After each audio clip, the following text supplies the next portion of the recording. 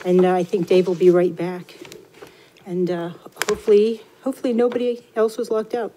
Um, Bev's not coming? I'm sorry? Bev? I you know- think she's away, or Okay. something else, I think. Let's see. So we have. I don't know anything about Bev, but,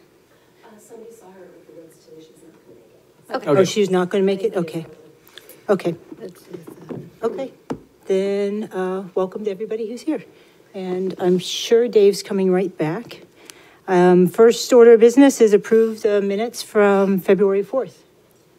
So, Anybody have any, any, anybody have any challenges or anything? That's comments Fine. on minutes? No, It's- second? Okay, motion and second. Okay. If there's no comments, uh, vote to approve the minutes? Everybody? Yeah, I motioned, she, she Yep. seconded. We're, So Motion ayes? second, yep. yes, we're good. Aye? Okay. Aye. Any nays? Nope, okay. That's done. Um, so next is Parks and Rec, Article Four. And here you go, sustainability brief about, uh, warrant Article Four. How are you? The floor is yours. You know, I'm not gonna hook it up there if you guys are okay with that. Do y'all have the slides in front of you? yep. Oh, does anybody need any? I know, Robin, you got some. yours. Did anybody else need the slides Yep. down there? I have an extra if you need it. Okay? Just let me know. Um, so I'm Stephanie Papakos-Candice. I'm the chair of the um, Parks and Rec Advisory Committee. And as we all know, there's a big project going on in town right now. Um, so what I wanted to do was just take a minute of your time, and I really appreciate you having me and getting me on the agenda, to kind of um, review some of the sustainable components that we've incorporated into the project, because that was something that was in the forefront the entire time of this project. And additionally, we want to be sure that on Tuesday, if it hopefully passes, that we can come back and we can say, all right, let's work together and let's move forward and let's get this as, as tight as we can and hit every point that we need to that we can, okay? Um, so first and foremost, I'm not going to go through the entire project itself. I apologize. I I have pneumonia, so if you see me reach down and, but I am of Greg, Melissa, and myself, I am the least contagious. I'm not contagious. Um, they are right now, so that's why I drew the, the, I drew the Sustainability Committee straw tonight, so I'm happy to be here. Um, but I wanted to kind of go over the goals of the project real quickly. Um, the reason why we um, have developed this project for the Article 4 Parks and Rec expansion is first and foremost to build a multi-generational community center, uh, planet playground replacement, which is essential as we all know, camper safety, rain and thunderstorms. Right now, if it rains, they stick the children in the bathrooms, and oftentimes they can stay in the bathrooms for about an hour and 45 minutes max before we make the call to bring them over to Tuck Learning Center, which is all the way across town. So um, these kids don't have a place for shelter to go into when it's inclement weather, but also when it's 90 to 100 degrees, they still don't have weather, you know, a space to go into as well. So this space will be able to house them, and additionally, it will allow us to add an additional 100 to 150 campers to our already coveted camp uh, registration, which you'll see tomorrow morning. There'll be lines starting at four in the morning for people to sign up their kids um, that haven't already had the opportunity to get in as returning campers. So um, hopefully we'll eliminate that problem by being able to expand with this building as well, and we can get all campers in with no wait lists. Um, improve and increase parking. As we know, we've got a large parking issue, which also creates a big safety issue because people, when they run out of parking, they park across the Access Sports um, parking lot, which is not um, an authorized parking lot for us, but they are kind enough to let us use it or they just turn a blind eye. Um, but we have people crossing that street all the time. It's very dangerous. Um, we have had somebody get hit before. We put up a sign in the middle, hoping that that would um, make cars aware that that's a really tough intersection. And within uh, two weeks of that sign being put up, it was hit and dragged four times. So we just were so hit and dragged? yeah, we were so grateful it wasn't a child that got hit and dragged. But at any point in time, it could be, and that's what we're so concerned about. We've been trying to move the parking over to the rec. The only way to do that is with this expansion. Um, so this um, plan actually adds 100 parking spaces in phase one. So that will be an additional 100 parking spaces um, compared to what's there already. And then in phase two, when it comes, there'll be an additional um, 80 to 90 parking spaces that'll be added um, as well when the soccer field is added in phase two. Um, patron safety as well. If you've ever been in that parking lot down there, you'll notice that there's really no traffic flow. People say, well, the traffic flow is this. Well, that's because there's no traffic flow down there. People just drive wherever and whenever they can. And right now, the way it's designed is you have to cross across that parking lot um, to get to the Parks and Rec, because there's no entryway that goes around the park. Instead, it goes right through it. So kids are crossing, adults are crossing, everyone's crossing in there. Um, So this is going to avoid that issue happening as well um, improve accessibility for programming. Our playground um, especially is not ADA compliant. Um, Right now, to have anybody, um, child or adult that's either on a walker or a wheelchair, they can't go on the playground with the wood chips that are there. Um, It doesn't hold up and, and it makes it very um, awkward and level surface for them to go onto. So the new program is, uh, the new playground is going to be completely ADA accessible. In addition, we're actually going to have um, wheelchair swings as well. So um, you can just wheel a child right up. They don't even have to get out of the swings. You just lock them right in and they can enjoy it as well. Um, It also makes it um, accessible for, a lot of times, unfortunately, guardianship right now is, is with grandparents at times. And grandparents also bring their kids down to the park and they can't really get on there with stable footing. Um, So it'll be accessible for all of them to move around. We love Planet Playground, and our kids love Planet Playground because of all the great hiding spaces that are there. But the hiding spaces also cause a concern. Um, you know, there's areas that we have to check uh, before camp for hypodermic needles and things of that nature. You're always checking underneath to make sure it's safe in there. There are going to be exposed areas so that you're going to be able to see where safety is everywhere. Uh, but more importantly, you'll be able to get through the structures and not have to go under and, and through the structures to get to other areas of the park. That area is going to be the same footprint as the current um, Planet Playground, so it's going to be equally as large.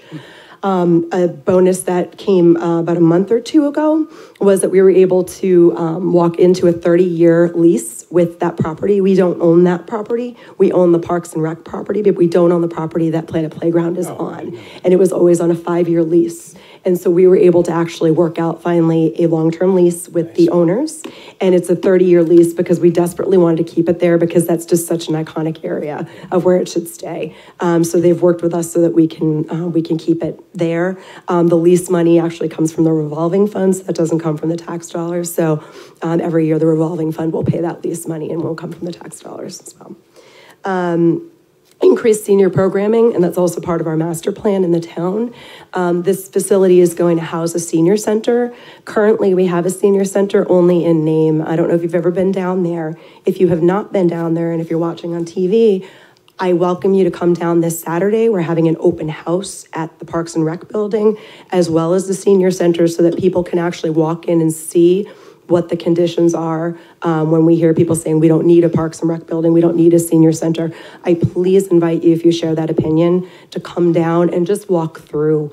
Um, we had someone come down on Friday who was a dead set no against the project. That within five minutes of walking in the building, she is an absolute hard yes and has been pushing for it now. um, Is that based on the Parks and Rec or the senior center? Both. She went through both buildings. She was shocked at the conditions. Neither of them are ADA compliant. There's no elevator or escalator to get upstairs. And that's where one of our, or two of our programming spaces are, of our three programming spaces. There's no bathroom upstairs. So once you do get upstairs, you have to come downstairs to a one-stall bathroom that actually is supposed to be um, equipped for everybody that's in that building. Um, the conditions of the envelope of that building are so loose that Greg and Melissa need to put the heat up to about 80 to get it to about 70 degrees every day. When they walk into the building, Melissa's office is usually in the 60s, and they have to crank that heat in order to get any heat in there because the building is just so old. It was built in 1884, I believe. I could be misquoting that date, but 18 late 1800s. Um, so the insulation is not what it should be. Um, the space when you walk in for our um, senior chair exercise that we have, they're in a room that has um, the the uh, columns in the middle, and it's it's just a room that has desks and tables, and they have to work around it in their chairs. It's not really a conducive space for um, for activities. Um, we unfortunately we had a girl come in um, that was on a walker and a fairly young girl around my age uh, come in on a walker on friday when the woman was taking a tour. And um, she had to go upstairs for programming. And uh, we were able to help her go upstairs for programming but my thought process was my gosh i hope she doesn't have to go to the bathroom when she's up there. And we should never have that happen for anybody coming in for programming. And that's how the building is designed. It's just been there forever. The senior center is also Meals on Wheels, and Meals on Wheels operates until 2:30 in the afternoon. So in order for the seniors to have any programming, their programming can't start until 2:30 in the afternoon. Um, I have a lot of seniors in my family, and by 2:30 in the afternoon, they're ready for dinner. So uh, we're ready to just settle down, but they're definitely not ready to start up an activity or their programming. So this space um, at the rec center is going to give them the ability to come in when the building opens if they want. They can come on in, they can relax, they can socialize. Meals on Wheels is coming with us as well. So there will be a kitchen that will also be included in this uh, building down there, which will work in a number of different ways. The kitchen that's there will allow us to be able to have functions if we want to and be able to use the kitchen and serve into the multipurpose space, which is also utilized as a gym. Also, the Meals on Wheels folks, when they're there, they actually feed about 20, 15 to 20 people for lunch during the day. That's where a lot of our seniors rely on their dietary intake. So when the seniors come down to actually socialize, they can actually come down, socialize, have their lunch there, and then go back to where they're going rather than going to um, you know a place to socialize that's not being held up till 2.30 then going to meals on wheels to have lunch and then potentially coming down to like we have a, we have a track that's going to be around there. They can do a little bit exercising while they're there socializing as well. So it's one-stop shopping for our seniors to be able to go down and have a full day and really really live and thrive with their with their friends and um, also get to see children being active um, a number of studies that show that longevity of life in seniors comes with um, being around children. And that energy kind of almost comes off the children onto them, and they just love seeing it. A lot of them don't have grandchildren around or don't have young children around. So for them to see that, um, it's why we go to the senior homes to go trick or treating. That's why the rec does a program like that. It's because you just see them light up, and that's what our hope is to give them quality of life and wellness um, that they deserve. They've built this town up, and they deserve this back. So that's what we're hoping to give to them um, increased recreational programming for all ages as well. This building um, is designed to accommodate what we have in the rec department right now and then some because we have a growing community going on right now. The current spaces that we have do not accommodate the amount of, of activities and the amount of programming that we have. A perfect example is our basketball leagues that just finished up right now. We have so many basketball leagues, all ages, and it's fantastic, but we're on top of each other. And we've got one game going on, we've got another team warming up, another team ready to come on the court. Times are running over. Now our third and fourth graders are playing full court where they used to play half court. So now we've lost a half court. So we have to accommodate times for those people. So we've got Main Street School, we've got Lincoln Street School, and we're incredibly grateful for their use, um, letting us use their field, their courts and we're going to continue to use them. However, this rec space is going to give us a full size basketball court that we'll be able to utilize for either a full size game or we'll be able to split it down the middle and have two half court games going on at the same time, which will really help us to utilize the space and not have our games going all day long. Because what happens there is people lose the ability to spend time with their families afterwards when you've got games scheduled at four in the afternoon because that's the only time you can do it. People lose the ability to go skiing with their families or go out and, and spend time with their families. And we really want to make sure that this is community based and family based and we can bring everybody together. Um, additionally, um, the senior space, we need that down there, uh, but we need the camp space as well to be able to get the kids into inc- from inclement weather. Um, any questions so far? I know I'm, I'm kind of running through to. I had one question. Sure. Uh, 100 plus uh, parking spots in the 1st Mm-hmm. draft. Uh, Parking surface, permeable, not permeable? I'm worried about if you add 100 parking spaces, that's a lot of runoff. Yes, actually, it's a good question that we have. It's it's it's designed in the space, and I'll actually show you how it's designed in there as well.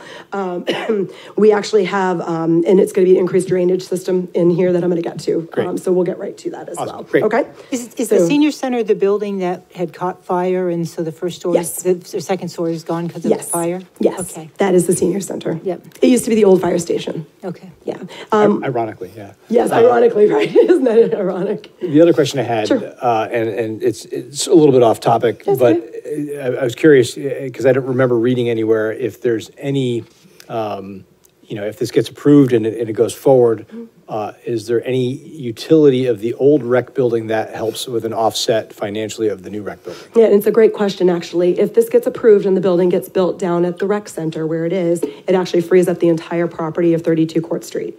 32 Court Street is actually zoned for um, residential or commercial. So the town um, selectmen can decide what, or select board can decide what they'd like to do with that. They can either decide maybe to, you know, expand, I know the fire department wants to be expanded, or the, needs to be expanded, and police and things of that nature, or it can be turned into condos, at which point the town benefits from the tax benefit from it. So there are a lot of different options, but it will free up that land, um, and it's up to the, the select board to decide what they think that it would be best used for. So it's a great question. Any other questions before we move on? All right, great. Um, so I'm not going to go too deep into the project itself. I will give you the website to check out. It's got everything available on it, and I think that most people have been kind of following a little bit about what's going on. But as we go, any questions you have, please jump out and, and ask me. But I really wanted to talk more about the sustainability components that we put into the project, um, so that you can know that that's been right in for, the front of our minds when it comes to uh, building this project.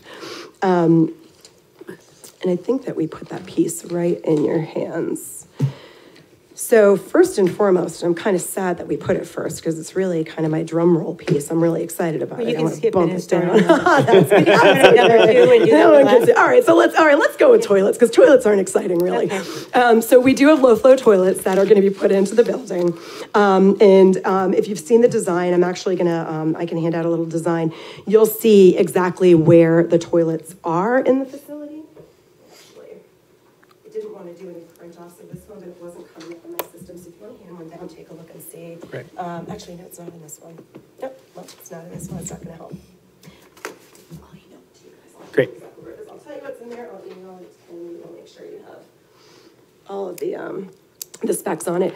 Um, there are, um, a large number of toilets that are down in the back, uh, corner of the, um, facility. They're placed where they are because we've designed the building so that we can actually close off the building on weekends or on off hours. And you can just shut down all the power in the building except for that area. And you can have it available for people that are there for soccer games or events down there that can actually have bathrooms instead of porta potties to be able to use. Um, and they are all low flow toilets in there. There's also two uh, family restrooms that are going to be in this facility as well, um, all complete with changing tables. One of them will actually have an adult changing table um, because we want to encourage access for any, all abilities and ages.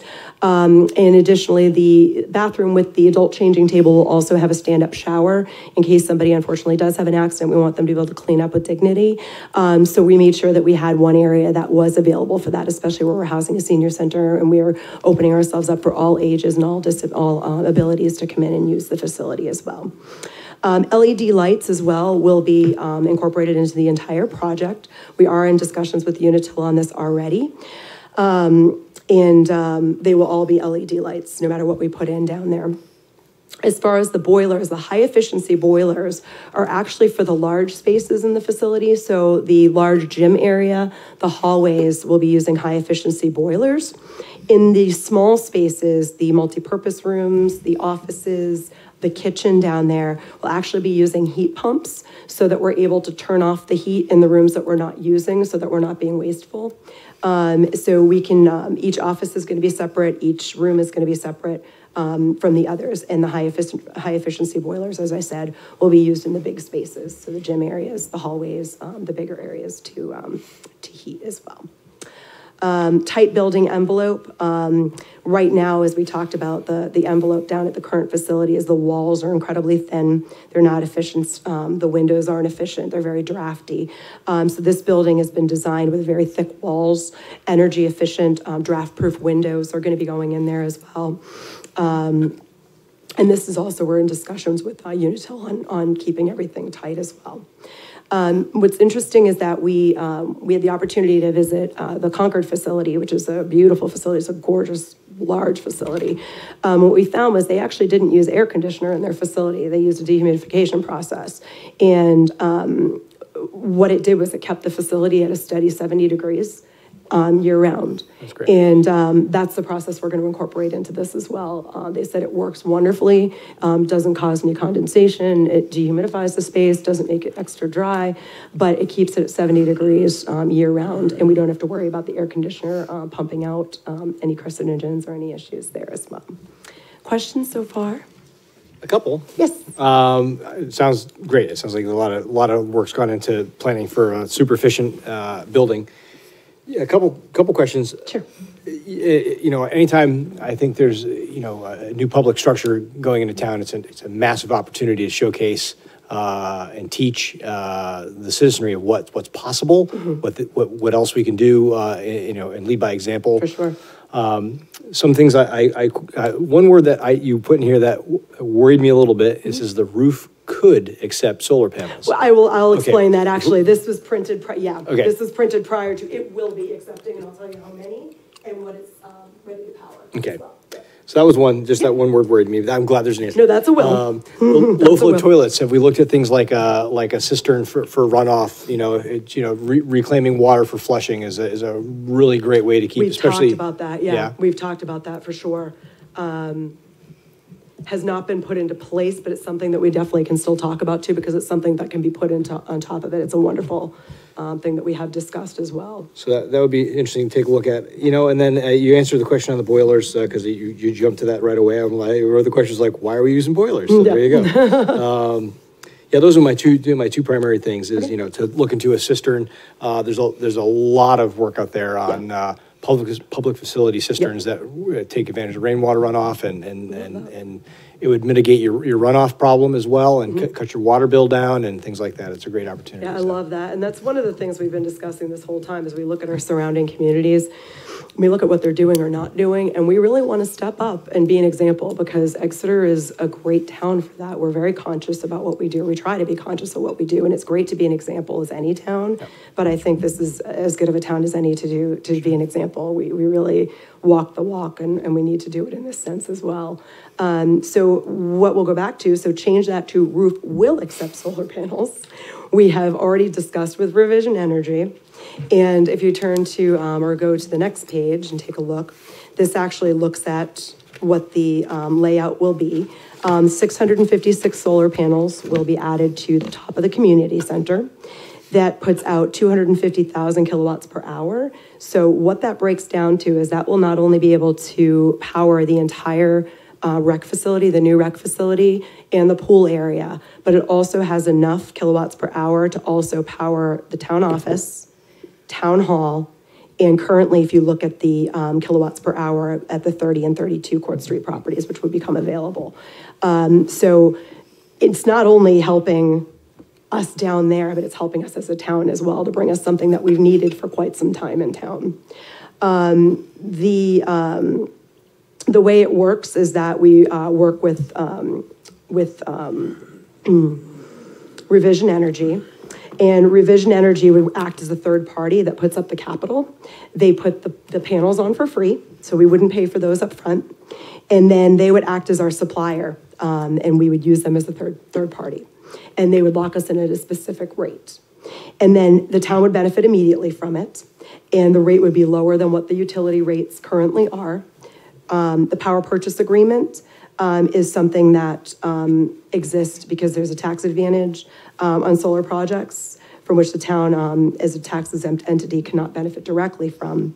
The way that this power purchase agreement works, though, is that, um, in a five-year period, um, after the solar arrays have, uh, proven their yield and financial value and electricity supply, the town may but it's not obligated to purchase the array from the investor at a steep discount um, uh, from the original cost. So what the town can do is over those five years, take a look and see what their, what their gain has been from having these solar panels. And if they don't feel that it was financially beneficial to the town or made sense to do, they can decide not to opt into this or to buy this. If they do decide to buy it, they get it at a steep discount. Um, and there'll be continued savings through the lifetime. And the lifetime of these panels, they typically say are about 40 years for the revi- uh, revision panels um, that we've been dealing with, the life expectancy on that. So um, the way that the building is designed, um, and I'm, I, I can show you where it's laying, this I can show. Where the building is on the property, Thank you. Yes, is actually designed specifically because of this. So where the property is, where the building is, is actually set in a position where it gets the most sunlight at the most times during the day so that it can have the best benefit on the solar, um, the solar refund on it, refund if that's even the right word. Um, So that's why the building is designed where it is and where it was placed where it was as well, in addition to the way that the topography dictated um, that that was the best place um, of the few that we looked at. Um, But this actually incorporated it as well. So questions on that? Okay. Um, so I know a large topic of discussion, as it should be out there, is obviously when there's development, there needs to be clearing of some trees. Um, for this project, for the entire phase one of the project, five acres of trees will need to be removed, uh, for this project. What happens when trees are removed and a building or structure is put on a facility is you need to go through what they call a land swap. So what that means is that through an LWCF property, they look at another piece of land that's out there that actually meets specifications that, um, and I'll read to you exactly what the LWCF does.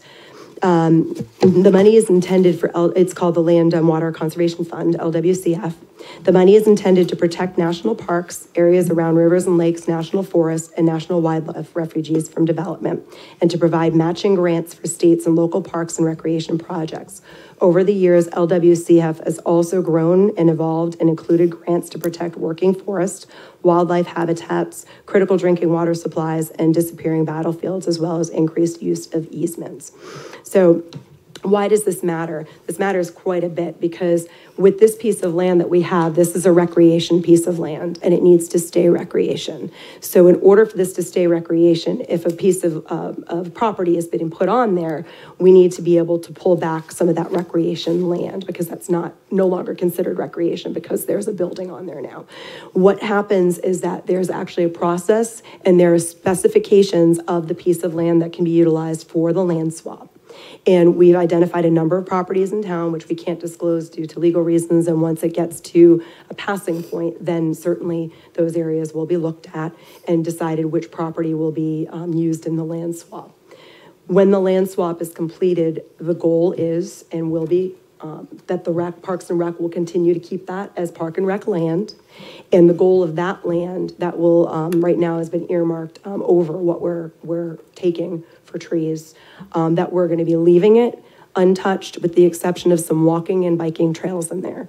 So I'm obviously concerned anytime trees are coming down, but I also am grateful to know that that property that otherwise would be developed is going to be in this land swap, and it won't be developed because it's going to be part of the land swap.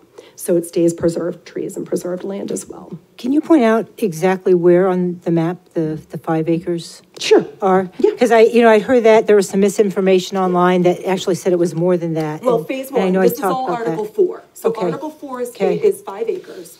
Or when the, when the second phase comes, Uh-huh. there will be additional clearing for a soccer field out here. But for Article four, what we're talking about right now Okay. is gonna be five acres. And it'll be back in this area, right back in here. Now, I Okay. wanna let you know as well, that this perimeter, which abuts to one oh one, Right, right along here, there's gonna be a fifty-foot tree barrier that's gonna be left there. So we're not touching fifty feet of trees Do it depth. depth. Yeah. Because that- we- for pollution and noise prevention as well. okay, yeah, so that's not a wildlife thing, that's just No, a that's- visibility yeah, noise, that's- yeah. Well, that's more, pr- Okay. yeah, it's pollution, it's, it's, you know, Okay. noise, it's Yeah. just the aesthetics of it, keeping it there, but we're not touching fifty foot of tree line, and we are keeping that there. I know there's been some misinformation that we're eliminating that and taking it down, and that's not Okay. the case, that's not happening at all. Okay. Okay, did that answer your question? Mm-hmm. Okay. And then is, is it required that you put trails on, on the five acres that you preserve? Because required. actually, that degrades it as far as. Yeah, it's not required by any means, and it's something that we're definitely open to discussing. It has to be used as a recreation piece of land. Mm-hmm. So that's why the walking trails would, would allow for that with the least disruption on that. Okay. And you'd still preserve so much um, Okay. of that piece of property, but it does have to maintain, remain a uh, piece of recreation land as And part is, of that's, since that's LWCF, that's a federal program, Yes. right? So that's a permanent status? Yes, Permanent protection, yeah, right? yes. Okay. Yep. Yes, great question. Okay. Thank you. Um, So want to talk to you a little bit about um, the building and the drainage, and also the fill is going to be some questions I'm sure will come up as they should. So in this project, because of where the building is going to be located, there's obviously going to be some digging back there. And there's going to be some, um, let me pull this up one moment, please. There's going to be um, fill that's going to be brought back into the project. And um, currently, in the back of the project area where the proposed building is going, is considered what they call, um, it's called glacial till, is what the, the loam or, or fill is back there right now. What glacial till is, is is actually boulders and ledge. So with that type of fill that's back there right now, our, um, our drainage is very, very poor back there. Uh, because it can't drain well back there because it's, it's, um, it's grade C, um, loam back there and it's all rock and it's all, um, ledge back there. So the draining that we're getting back there is, is not, um, really the best for the environment back there anyways. And, um, We've also um, looked right now at the qual, there are no quality measures back there on the site um, because of, um, it's not developed back there. But once we do develop this area, there will be quality measures that will need to be included, um, that will be followed. And um, if you look at the, um, I just want to read down here for you real quickly um, the water quality erosion control regulations at the state level. They've changed dramatically since the existing park development was done 30 years ago. Um, the measures proposed in the plan um, will include rain gardens and filtration areas um, to clean the waters prior to discharge. And the existing soils are, um, as I said, Class C soils, which means that they're mostly boulder and ledge that's in there as well. Um, and there's poor infiltration there. Um, clearing trees will not likely have um, as much effect on runoff and groundwater uh, recharge as when more permeable sites are typically cleared. Um, the small wetland area that is proposed, and I can show you exactly where that is, is actually only um, 2,000 square feet, and it's considered to be minor or minimum impact on the project. And what they'll be doing in that area, and I can show you where it is, it's going to be filled because that little um, 2,000 square foot area is going to be part of parking lot. So it's not going to affect any of the wetland issues. However, we will be getting a wetland uh, permit as, as um, required to make sure everything is done up to code and done correctly for there as well. Uh, but that was the only wetland um, identified, which we were really surprised about. Um, we thought that there was a lot more that was going to be back there, but when they did the assessment, um, that was the only area that they found that was wetlands back there. Was that a natural wetlands or was that a? That was a natural wetland. The wetland that was up front that's been repaired already by the DPW was, it was a um, collapse. And that was way up toward uh, Hampton Road, and that's already been repaired. So even if they went and did a reassessment again, they wouldn't even identify that as being a wetland at one point in time. But this is the only natural wetland that was there. The other wetland that was there was a, um, was a non-natural collapse. Mhm. Great question, thank you.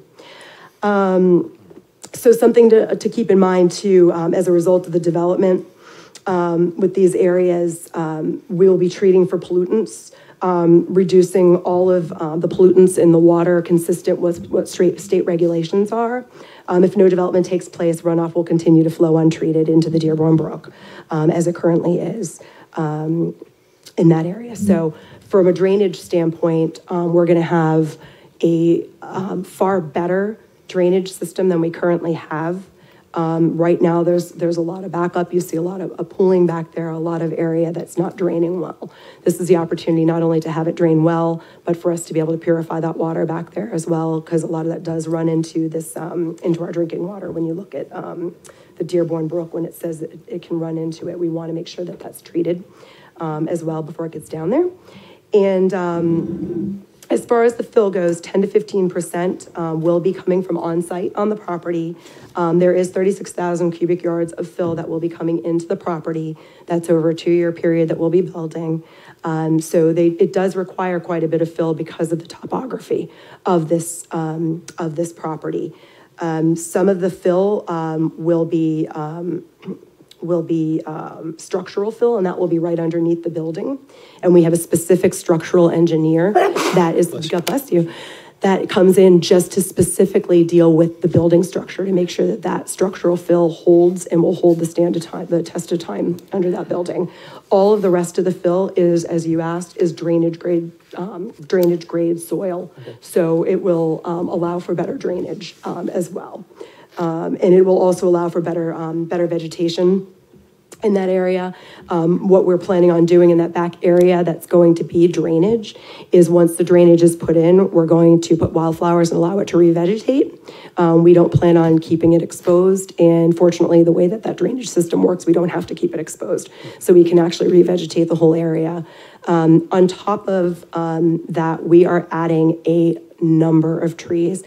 I don't have a number. I wish I did. Somebody asked. We don't have a number. We are adding a lot of trees to this project. Parking lot, perimeters. We're actually adding an entire wall of trees that run along the line of uh, the Acadia Drive abutters. It actually uh, blocks off their view of the parking lot currently. Um, so they'll have a nice privacy border there and a safety border. Um, the arborvitae trees that are going to be put in place there are going to grow up to 32 feet. So they'll actually go beyond their porch levels and give them some privacy there that they don't currently have. What is the species? Uh, the arborvitae trees, we're going to have some. Is that a native? Yeah, uh, um, I'm not sure if arborvitae's are native. Do you know if they're native?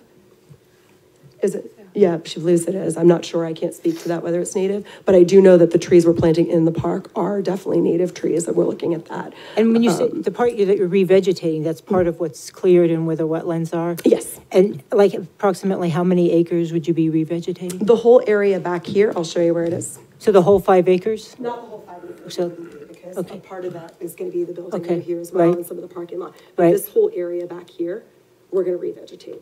Okay, This so maybe a couple acres worth. It possibly. Okay. Yeah, I could get you a more definitive Okay, number, um, on okay. what this would be back here, but this whole area, we're planning on revegetating so that. first just of all, letting it Parks- be. Mm-hmm. well, We wanna let it be, number one, because of the benefits that it has, but also Parks and Rec doesn't wanna mow it. They don't wanna have to go back there and mow this up. Well, that's not a So- sustainable thing any- anyway, so yeah. But, you know, so, but it, it- it benefits so much, there's no Right. need not to. Yep. Um, and it adds such a beautiful characteristic. We want to keep the beauty of the park. It's such a pretty park down there. Okay. Um, and we want to keep it a beautiful park. That's our goal, is just Okay. to, to keep it a nice place. Somebody had mentioned Central Park. We're like, we're not trying to build Central Park. That's, it's beautiful. Central Park's beautiful, but lots of concrete in Central Yeah, Park. I was We gonna don't say, want I know, I know how beautiful, it's beautiful for New York City, Yeah, I for- guess. yeah, we don't want concrete. We don't want concrete. yeah. So, so that whole area, our goal is to revegetate back there. Um, and put as many trees as we can possibly in here. But like I said, we've been very, very conscious, um, when doing this project with, um, figuring out what the needs are and what the wants are. And this has really come down to a needs-based project. I mean, the building is a need. We have to have that down there for, for the inclement weather. We have to have the senior center down there. We have to have Meals on Wheels. Um, we need some extra space down there for meeting rooms. We're out of meeting rooms in town. Um, the um, gym in that building has a rubberized floor that can be used for multi-purposes. So if we want to have, you know, elections or have a dance or have anything down there, it's actually set up to be able to do that and utilize that space for it. Um, so we've really made it so that we can utilize that space for everything and anything that we want to do. Um, one thing that we've been discussing as well, because Greg is on the, um, the tree committee as well, um, the Arbor Day Festival is so great every year. It's an amazing festival that we have. One of the things we'd like to start incorporating, if this gets through on Tuesday, is we'd like to start incorporating those little yearling trees that everyone gets to take home, that we start plant, doing a plant in the park. And so if people want to take them home and plant them at their home, we're obviously going to allow them to do that because that's their plan. But our goal is to make part of Arbor Day Festival for everybody to come down and plant their trees and start to really fill in these areas with the stuff from Arbor Day. So, I mean, we're already thinking, you know, forefront of what we can be doing um, from a community-based and, and environmentally community-based um, as well. Um, what didn't I hit on? I think I've kind of gone through just about everything on here. Uh, what questions do you have? What haven't I touched on? And if I don't know the answer, I can find out for you. I had one back on the solar Sure. project. So have you guys done any calculations for if the solar panel would cover so many town buildings? Mm-hmm. What the cost savings would be? And I understand there's a, you know, installation cost and, and all of that, but just the cost savings and utilities. Yep, there actually is not an installation cost. They actually install that. Oh, That's so what, um, yeah, actually, it's interesting. That's what Revision Energy actually installs them. They completely install them for us, and then at the end, we can decide whether we want to buy them back um, by whether we've gotten the cost savings. So the benefit of doing this process is that they install them, they put them on. We have five years to pay whatever their rate is, which is lower than our normal utility rate. Mm-hmm. So we'd still be paying less no matter what anyways, based on the locked-in rate that they would have. But over that five years, that's where we would get that number because there's no way for us to know until it starts to go. So it's kind of a great process that we're able to test it out to see whether our town can benefit. I know that um, Brentwood, Durham, um, Dover, uh, uh, Barrington, they've all got panels right now um, through revision. Um, So we were saying we're behind the eight ball, we really need to get going. You had a question? Yeah, so they, they essentially become the utility for us. They broker it to the, Yes. to the larger brokerage and they keep the brokerage kickback as well. So they, Correct. they basically operate the utility. Yes, they become our third party. Okay. Yes, yep, they become our third party. Correct. Yeah.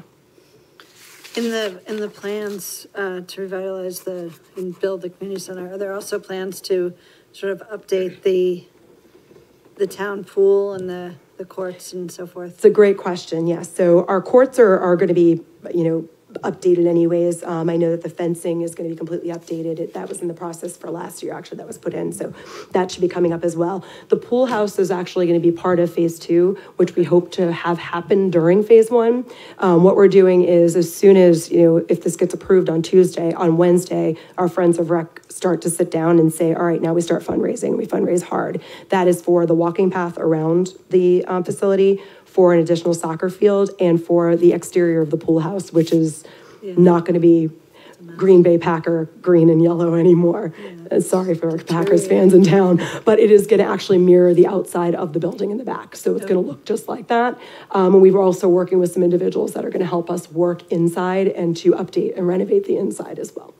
Okay. One of the dangers, obviously, when you make this beautiful island uh, in town for people to come to, uh, is the concern about getting there. Um, So talk to me about mul- multimodality, so uh, what the pedestrian and bike access looks like, and not just on the facility, but drawing people to the facility. You know, you talked earlier before about the, the the crossing sign that got run over and dragged down the road four times. Right. What, uh, what extends beyond the boundary of the park that you're working with the town on to improve bike and pedestrian access? Yeah, and it's a great question too. And actually, we've had, we have a group of people that are working on trying to move forward with complete streets. That's been something that we've really been looking into. Um, I know Jason Prue is very passionate about that. Um, that is actually, once, once I come down off this project, that's actually going to be my next project to jump on board with. Um, so that is something that we're actively, um, aggressively speaking to. We're hoping to be able to work with the town to be able to get, uh, potentially, I say potentially because we don't know what can come to us, but we know that they've been bike paths and bike lanes in Stratham that have been um, gone to CMS. Um, We're hoping to have some access from that end of town, from Right. Guinea Road and that end of town. That wouldn't be through Parks and Rec, that would actually be through DPW. Sure. And we know that there are a lot of grants that are available um, as well out there um, to be able to do that. We just need to get the process going, and it's something that we have a big coalition of people. We'd love for you to join us. Sure. To um, work on trying to get that done, because it's, it's been an issue for a long time. Um, So that is definitely our next project, because we want to make sure that it is a Safe to safety issue. yeah, yep. Um, Plus, we also hope at some point our kids can bike to school like they used to at Lincoln Street School. I'd love Yep, to see my kids exactly. be able to bike at CMS again. Um, So we definitely have been looking into that. One of the things to keep in mind too, one of the areas um, down in that area, they're problematic. We see a lot of car accidents historically down there. People get rear-ended in that area.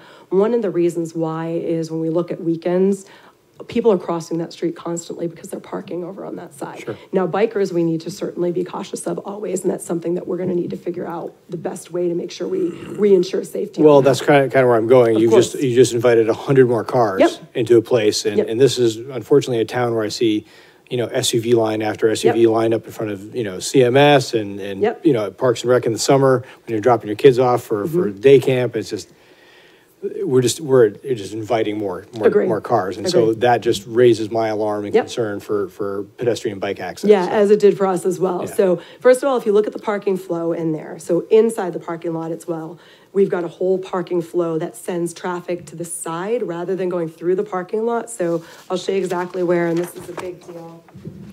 So the parking, the lot is gonna come in this way. And Right now, it comes in and people drive down here, and you see it, or they drive through here. Sure. People are crossing left and right in here. Yeah. The, and we know it, we see it all the time. So the, tr- the road is gonna come in, it's gonna run down this way, and it's going to go into the back parking lot here.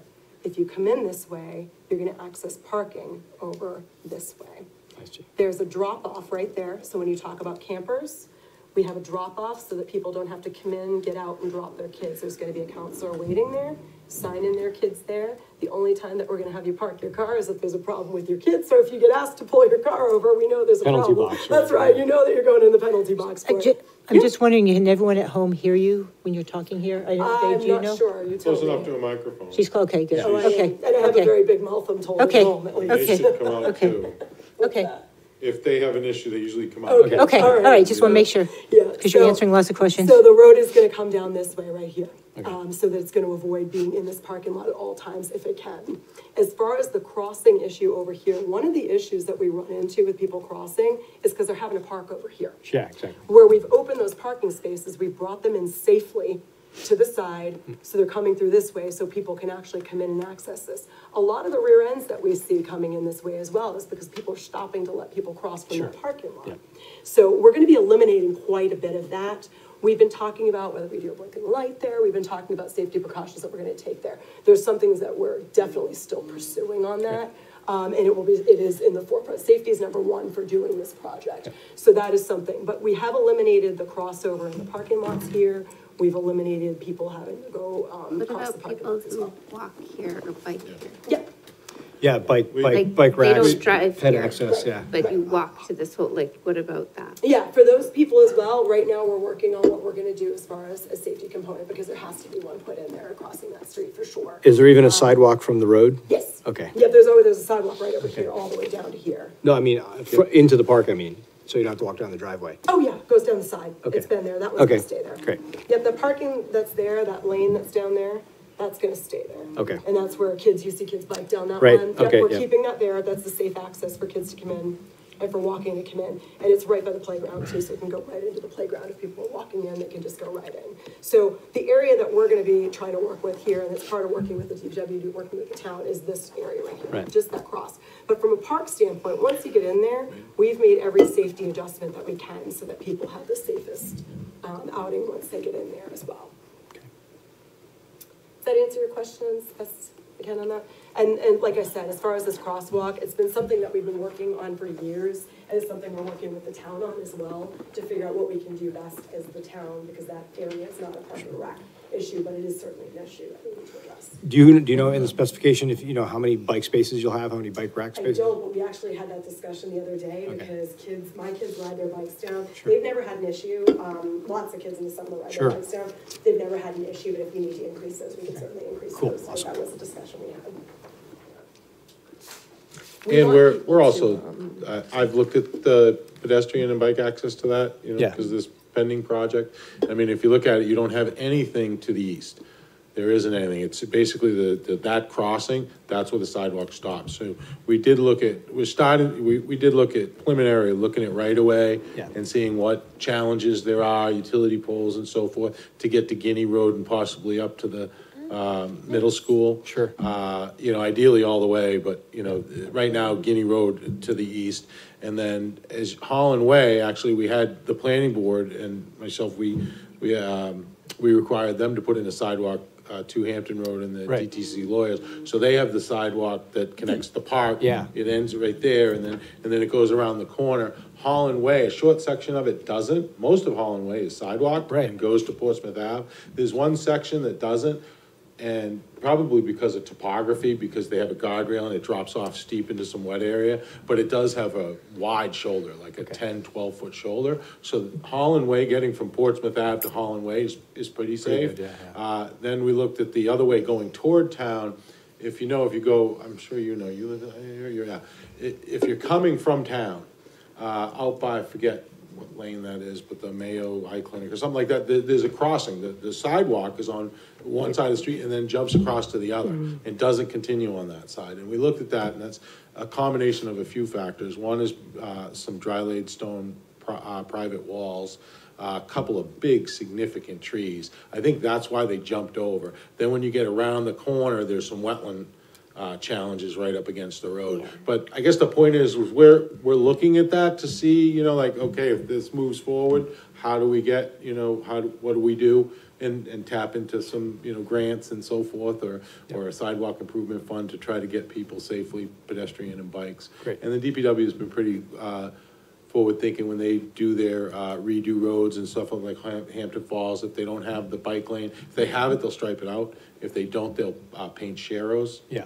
So that's been kind of a. a- a- Yeah, it's a, it's a great opportunity to have this kind of forward-looking thing, because, you know, to get money for, from, uh, you know, Safe Routes to School or uh, Complete Streets, things like that, the money gets allocated from the federal transportation budget to the states, but you have to have your, your stuff in uh, in advance it to get it. So having this kind of forward-looking Yeah. uh, thing is a good idea. So- Yeah, Yep. we're aware of that, and, and those are definitely on, you know, all depending on what happens, um, but definitely would be, is being looked at. We've been bugging Dave for a long time about this. He's been hearing it from us for a long time, so the discussions have been had for a long time too, and I'm looking forward to moving forward on that too. And hopefully this will be a driving factor to finally say, hey, it's time, let's do it. Let's do it. What other questions do you have for me? I know you have a big agenda tonight. I've taken a lot of your time. Sorry, guys. This is not too great.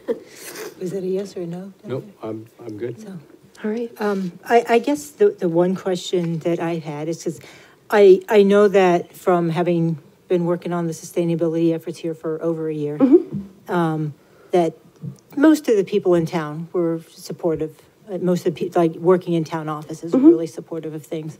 And I know Greg was, like, over the top supportive.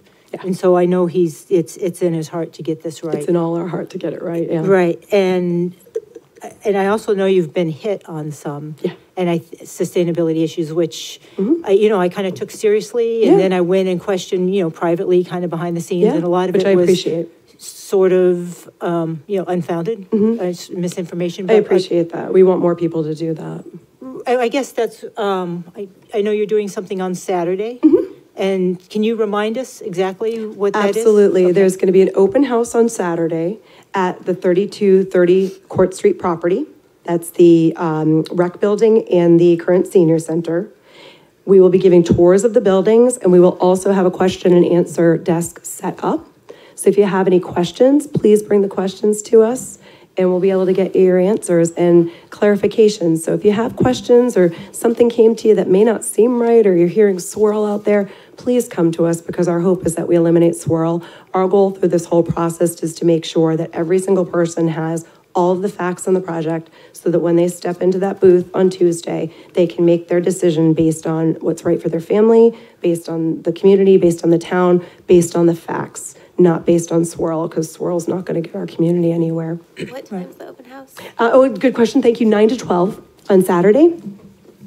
And then uh, Friends of Rec is also uh, hosting an alumni Bruins hockey game afterwards. Um, and that will be supporting the Friends of Rec, which is a fundraiser toward this project if it passes. And if not, it'll be toward other rec um, projects that we have. And that's going to be at the, um, at the uh, ice rink at one. And that should be really fun. Should be a good time. So our goal um, for coming today was really to let you know kind of the components that we've incorporated, to pull in some components, which was great. I'm going to be bringing back um, to our group um, the reclaim water. That's a great suggestion, and um, looking forward to see if we can kind of incorporate it. Um, but we've also received, um, as I don't know if you saw in the in the Exeter newspaper, we got a glowing endorsement from the Energy Committee um, on the project, and our hope is not for you to say to me right now that you know, we're giving you a glowing endorsement, but if you feel like you'd like to endorse the project, uh, based on the sustainability components, um, you still have till tomorrow to get in a, uh, letter to the editor and get that out, but that's up to you. I won't tell you to do it if you feel compelled to do it. Um, I know we'd appreciate it and the town would really appreciate what you have to say based on, um, your backgrounds. Awesome. All right? I look forward to hopefully working with you guys in the future on this. Awesome, well, thanks for coming down and Thank you going so through much this. for It's wonderful. having me. glad I don't think- Thanks. And I'm get- gonna feel- go back and to feel better. bed. Yeah. Oh, I'm going to bed now, so. Thank you, guys. Have a wonderful anyone we can night. call Thanks. to excuse you? Me too. Is there anyone we can call to excuse you? I don't know, they're not answering. Thank you, Stephanie. You're welcome, thank you, Um, I know, Yeah, I, I have to. Okay. okay. Um, Is there anyone else who can speak to the sustainability fair? Our, our next issue is the sustainability fair. We And, haven't like mm, discussed in Okay. person. Um, and Yeah, there's we- like some. Yeah, we had a couple issues for, to get, to get together for a meeting, uh, and then we had, we wanted to actually have a discussion tonight, uh, about, uh, just feasibility for planning and things like that. So what I suggest we do is, uh, is continue the subcommittee, committee meeting, uh, we're gonna push it out and, and meet within the next week or so, and okay. we can update. Because I know Lucy has to go right Yeah, now for exactly. curfew. Okay, okay, All right, Okay. okay. Um, There wasn't any date selected for that yet, right? not yet, no, that's one of the topics, so. And, and, and to, and, you know, part of the, part of the choice making was, you know, we, we, before we turned the, the mics on tonight, we were talking about things in other areas of business and things where are a lot of things are getting postponed and, and pushed off, uh, given current, you know, global health issues. So we're trying to keep that in mind, like how far out do you plan something to make sure you're clear of the problem? So, uh, that's something we want to talk about a little bit too, so. Okay. All right, so is anything else on, Nope, we'll have an update, uh, more substantial update next, next meeting. okay. And then for Stephanie, I'm sorry, I was a little distracted by you telling me I had to leave. I don't know if we need to, um, We'll, we, we'll want to just get uh, with Chetna and talk about doing, whether we want to have uh, an endorsement letter or not. It'll Uh, have to be done by tomorrow. well, yeah, well, yes, so that- I think we have a quorum here, so we could vote on that if there's any discussion of that. Yep. Um, Yeah, worth opening up the topic, I suppose, yeah. Okay. Any, any others, any comments from you, Dave? As, a- as a planner, on the, the, um, I don't know what, uh, article, number- number four. It's Yeah. warrant article four, the Parks and Rec thing. Just from I know, I, you know, we don't take a position, we just present Okay. you the facts and so Right, forth, and don't okay. say, you know, oh, do this, do that. It's okay for us to Okay. take a position? Okay, I thought we couldn't take a position on things. We can. Oh, yeah, we can, just, we I just, mean, you did on the, I'm just going by, you know, how you feel, and then, um, you, you supported the citizens petition. right, You, s- on Granite, Granite Bridge Pipeline, correct, at the last meeting? I, I wasn't there, but I watched it. right, we did, we And then- endorsed it. Mm-hmm. and- Yeah. so.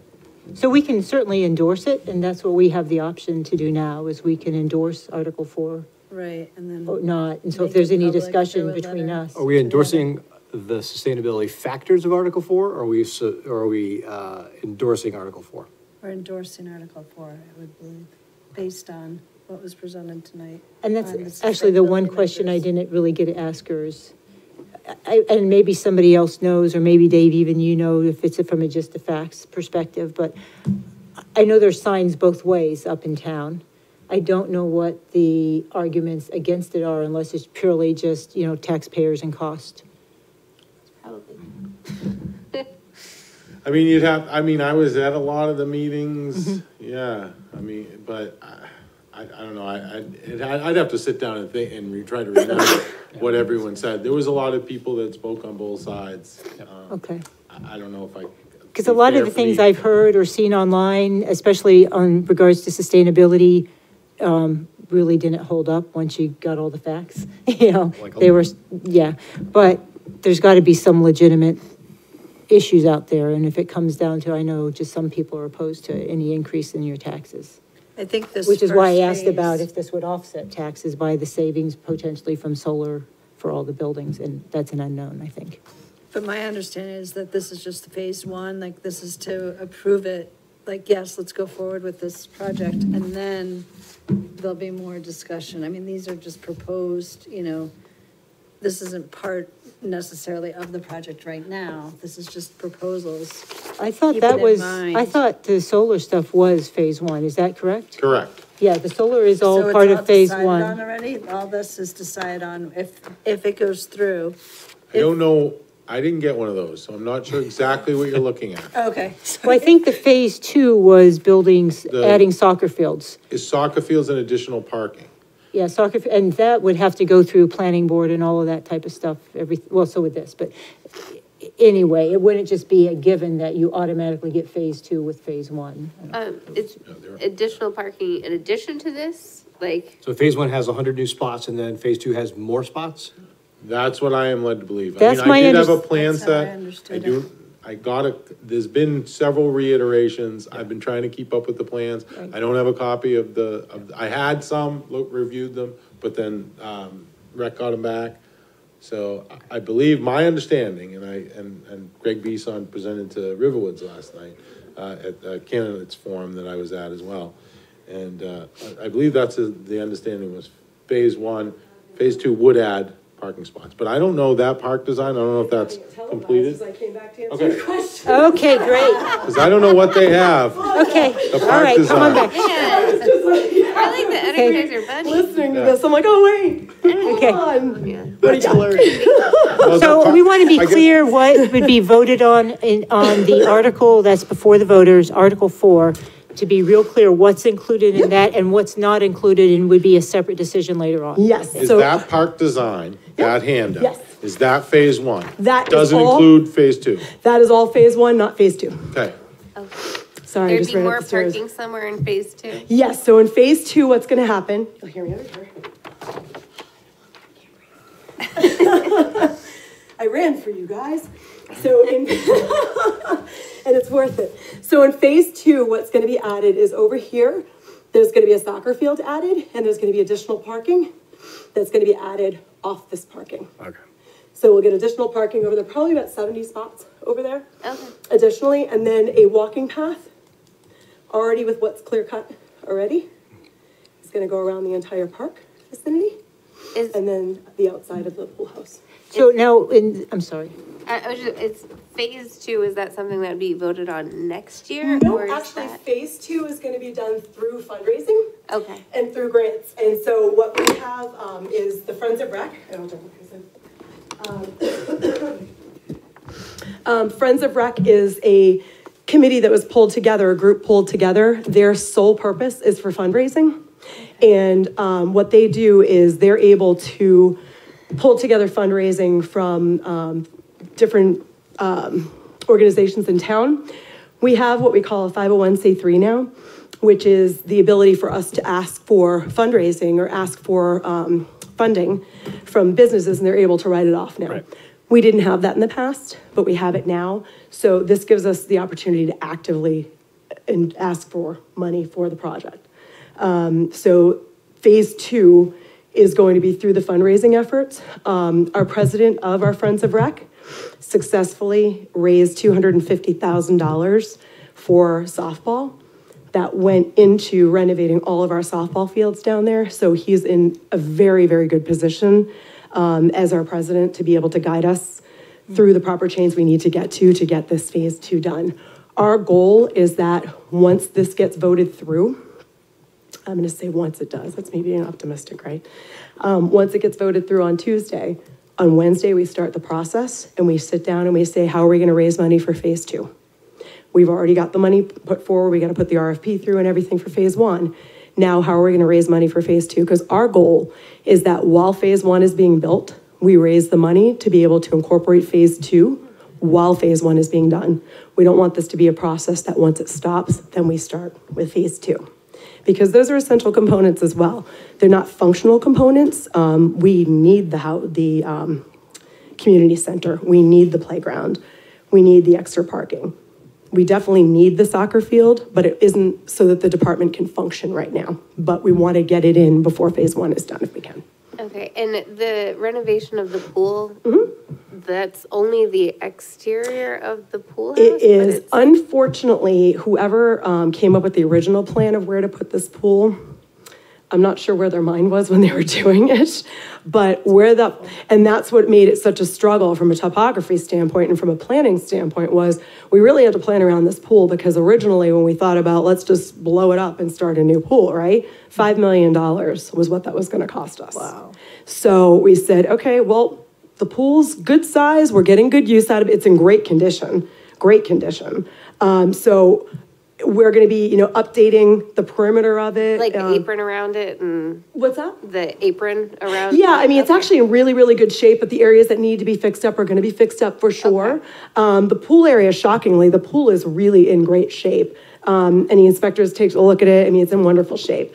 Um, unfortunately, just where it's located created a bit of a challenge, but the bigger challenge was to, were we gonna add five million dollars onto this for something that we used for ninety days?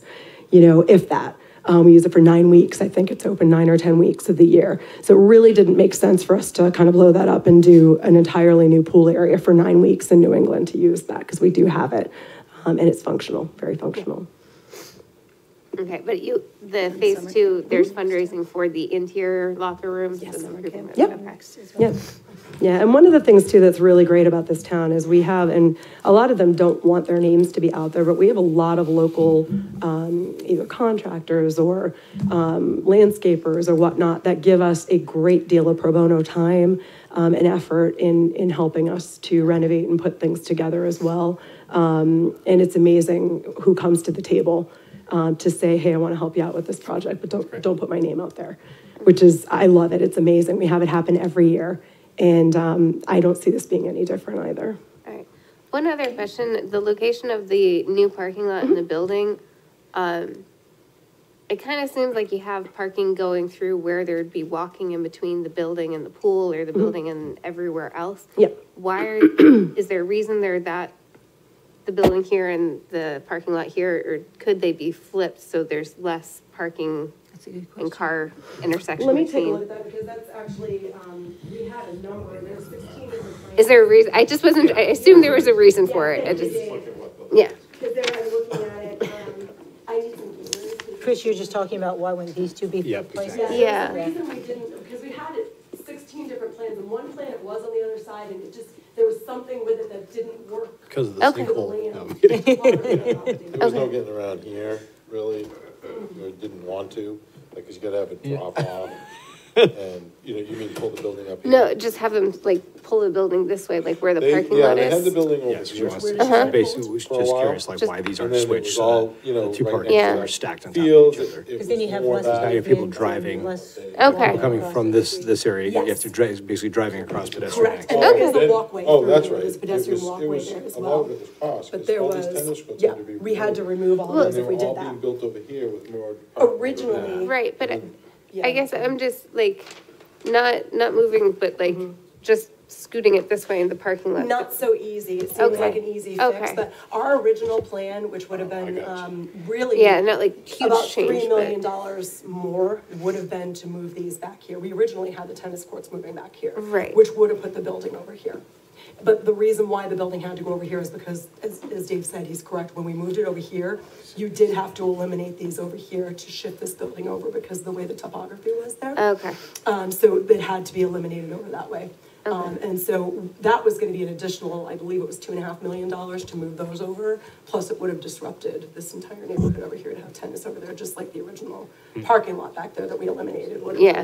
been. It's just like not knowing the topography, Yeah, it's I like, didn't why work don't, with- like, yeah, not was- moving the tennis courts, not moving anything else, Yeah. but just the building here, the parking lot here. And looking at Yeah, it, it like like sliding it up and fix, but- over. Yeah. Yeah. And then you don't can Well, approach. Then you don't I'll have- up to him. Yeah, cause like, if you don't have to have people going Right. across the parking lot. So this area back here, just so you know, there was a, was it a thirty-five foot drop? Was it, the Gordon said, there was a, a Yeah, big it's, drop it's back all here. steep, yeah. but So in order to move that back there, I'm just. She's ha- not. Just She's, right she's just here. saying, I mean, the parking lot's a little skinnier. It is, And yeah. there is some, you know, s- slope here, um, but taking this building, say, say you had a little cutout of the Yeah. building and moving it right up into this area. Yeah. So it's just like on top of the parking lot and then the Yeah. parking lot goes over here. Yeah, that was, I believe that was a whole topography issue. We'll Okay. get back to you hundred percent on that Okay. one. But I remember we originally had that flipped, and Okay. it was a topography issue, and it was also the ledge that went off. It was such a steep drop. Because if you look at the fields, these were all fill at one point. Mm-hmm. So the fields are actually kind of in levels, if you actually look They at them are, like that, yeah. they are.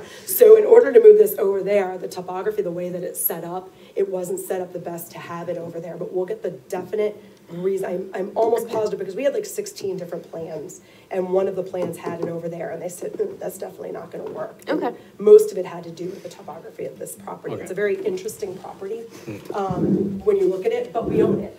You know, so it's our property, it's our interesting. That's right. We'll be But we proud. own it, and so it makes sense for us to continue to use that and to not just leave it there unused. Uh, what is What this I'll do is break I'll, on the I'll talk to trees? Tighe and Bond Can about I- that, try to get, you know, get an answer to see, see what, you know, Yeah, because just- it's not, I mean, this isn't, you know, out to bid plans. You know, at this point, and they still have to go, they still have to go to the planning board and select board, or, well, they have to send the plans and the planning board and select board, if it passes. The Planning board and the select board can opt to have a public hearing and provide their non-binding comments. Okay, So there's still a process after that for things to, you know, okay. uh, get tweaked in this, um, so, but I'll bring that up. I'll, I'll find out. Yeah, just- Our, our discussion, and the reason that you came back in was because we were questioning whether to support this, this project or not, um, from the sustainability, uh, standpoint.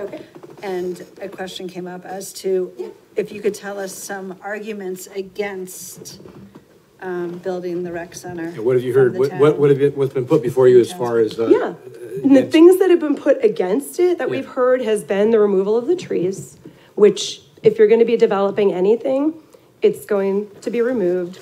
Um, the same individuals have also mentioned, can we move it to a different location? Well, we've looked at that, and if we did that, we'd be removing fourteen acres of trees rather than the seven acres of trees, because then we'd have to add the tennis courts, we'd have to add the pools, we'd have to add this. And additionally, it would be over twenty-two million dollars from what we looked at when Tighe and Bond looked at the, um, the property that potentially could have housed this, um, which there was really only one that potentially could have housed it. Um, so that's the biggest pushback we're hearing. Um, we are certainly getting some pushback from, uh, the abutters on the side, um, where Acadia is, understandably, um, because they do live right on a park.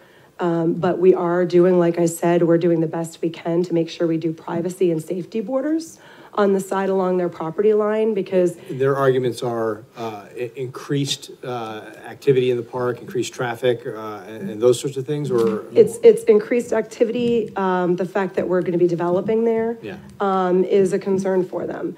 Um, and, you know, if I lived on the property, I would say yes as well. Of course, it's gonna be a concern. But they did buy in a park, and I do have a lot of sympathy for them on that. So what we are doing is the best that we can is we're putting a tree border so that they get privacy, and we're also putting a fence border, because my concern as well is that they have children over there, and that road is running along there. I don't want a child running through the arborvitae trees or whatever trees we have there that are, that are, um, privacy trees and crossing in front of those cars. So we're also gonna have a fence there for a safety standpoint. Um, unfortunately, the park is the park land that we have. Um, it's not conservation land, it's land that we always planned on renovating, and we've been working on this renovation process for six years now. Um, and the entire time, that road was always gonna be running there for a safety component. Um, so as some people saw, we were able to concede on some things, such as the parking lot that was in the back corner originally in the original plans. Um, we heard from the abutters, we met with them, and it was gonna disrupt their entire neighborhood on Wayside Drive. And it didn't make sense to do that there, and it wasn't essential to the plan. It wasn't essential to safety, it wasn't essential to uh, productivity down there from a rec standpoint. Um, so we removed that, we eliminated that. We've been very open to working with people that have concerns. This road, unfortunately, is not something we could concede on because it is a safety component that eh, no matter which way you slice and dice it, if it doesn't go on that side, it's running through traffic and through pedestrians. Um, so what we're doing to hopefully, you know, offset that is to build the full side, you know, put up the trees that are gonna go up to thirty-two feet past their, their porches and give them nice privacy, which is gonna be a far better view than they have now. Um, and it'll also probably do some noise buffer there with those trees there, and then the fence for the safety as well. So those have been, um, really the two pushback pieces that we've had.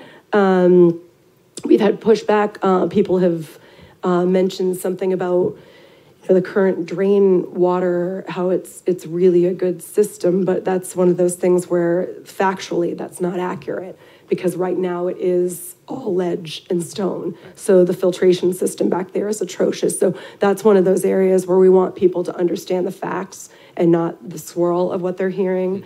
Um, we are having, a logger is gonna be, um, taking the trees and utilizing them as well. Um, another thing that we're hearing is people are saying we're taking down, um, all the trees that buffer and border 101. We're not, we're leaving a 50-foot border of trees, which is comparable to what, um, Exeter Farms has abutting, um, 101. So if you ever drive through there, you'll see what their, their abutting um, tree line property is there, and it's, it's very, it's very peaceful back there. Um, Well, and, and part of that, Jeff, if this diagram is right, Yeah. is since you're clearing the five acres, but you're offsetting that with Land and Water Conservation Fund, which is permanent protection, and this was never permanently protected anyway. Right. So you're offsetting it with something permanent and then revegetating what looks like, and I don't know if this is exactly to scale, Mm-hmm.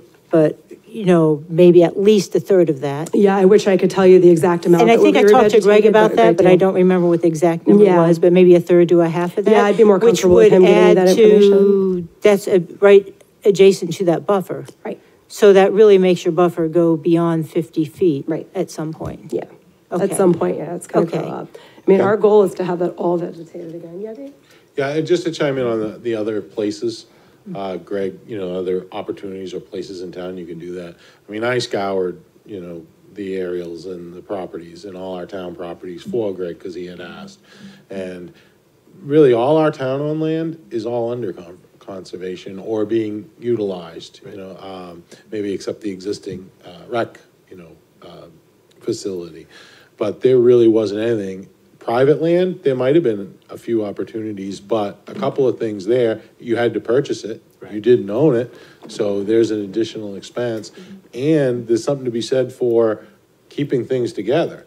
It's like, do you want, you know, I think they want the community center so, because they have their kids, they have the pool have to there. have it there. They- You know, it, it makes sense to put those uses together, so, and, and then otherwise, you'd, you'd have to go out and purchase, uh, some other property. And there was So- actually a study that was done, it was an unbiased study that was done in 2015 by the Turner Group, and it was a facilities-based study that looked at all of the facilities in town, and it kind of went through what needed to be replaced, what needed to be repaired. Um, under Parks and Rec, they essentially said, you know, blow up Court Street without, in so many words. I mean, it was, it was really, um, they need, they wanted those buildings to be, they recommended that we end up doing something different. But to Dave's point, what they put in that, um, Turner Group was that the senior center that needs to be moved based on the conditions and the Parks and Rec that need to be moved based on those conditions. It stands to reason that they all move together and be put together. Um, and this is from an outside source that looks at facilities and says, these belong together anyways. So to Dave's point, um, what we followed for this plan were two things. We follow, actually three things. We followed the town master plan. We followed the 2015 um, facilities um, report that we got through the Turner Group, and we also followed the UNH facilities um, study that they did. Um, All unbiased pieces, um, except for obviously the, the town plan, which is what our focus is. We looked at those three pieces and we used them as our, as our maps. And we hit every single point on those. And that's why, as much as I really worked hard on the project that was in 2017 that we presented. When it didn't pass, I was exhausted and really disappointed, but I was really happy in the long run because it wasn't the right plan for our town. This is the right plan for our town. So I'm grateful to our voters that didn't vote for that because now we've got something that actually makes sense and we've incorporated our seniors. We didn't incorporate our seniors before. We incorporated all of our offices. We incorporated Meals on Wheels. Meals on Wheels wasn't incorporated in 2017, but it makes so much sense for them to be with us for, number one, freeing up that property on Court Street, but also because our seniors depend on them a lot of times for their nutritional intake. So if they're in the same location, they get to feed them and it's less work for Meals on Wheels to not have to deliver. They can just give them to the person to take their meals home. So there's just so much together that, that comes together in this that I'm so glad, like I said, it didn't go through three years ago. If you asked me the day after the election last time, I wouldn't have said that. But um, hindsight, right? I'm so glad it didn't go through because it forced us to go back to the drawing board and say, what did we miss? And you know what? Why didn't this population vote for it? You know what? They shouldn't have voted for it. Now we have a place where every single age bracket is hit, every generation is hit, every ability is hit. And it's, it's community center for all. We, we've kind of coined the phrase more than just a park. This is way more than just a park. This is, this is a community center.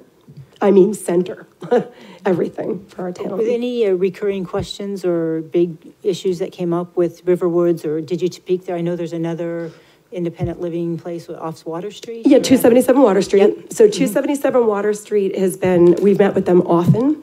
Um, They're very excited about this because they have one room in there that they utilize for their activities, but they like to get out.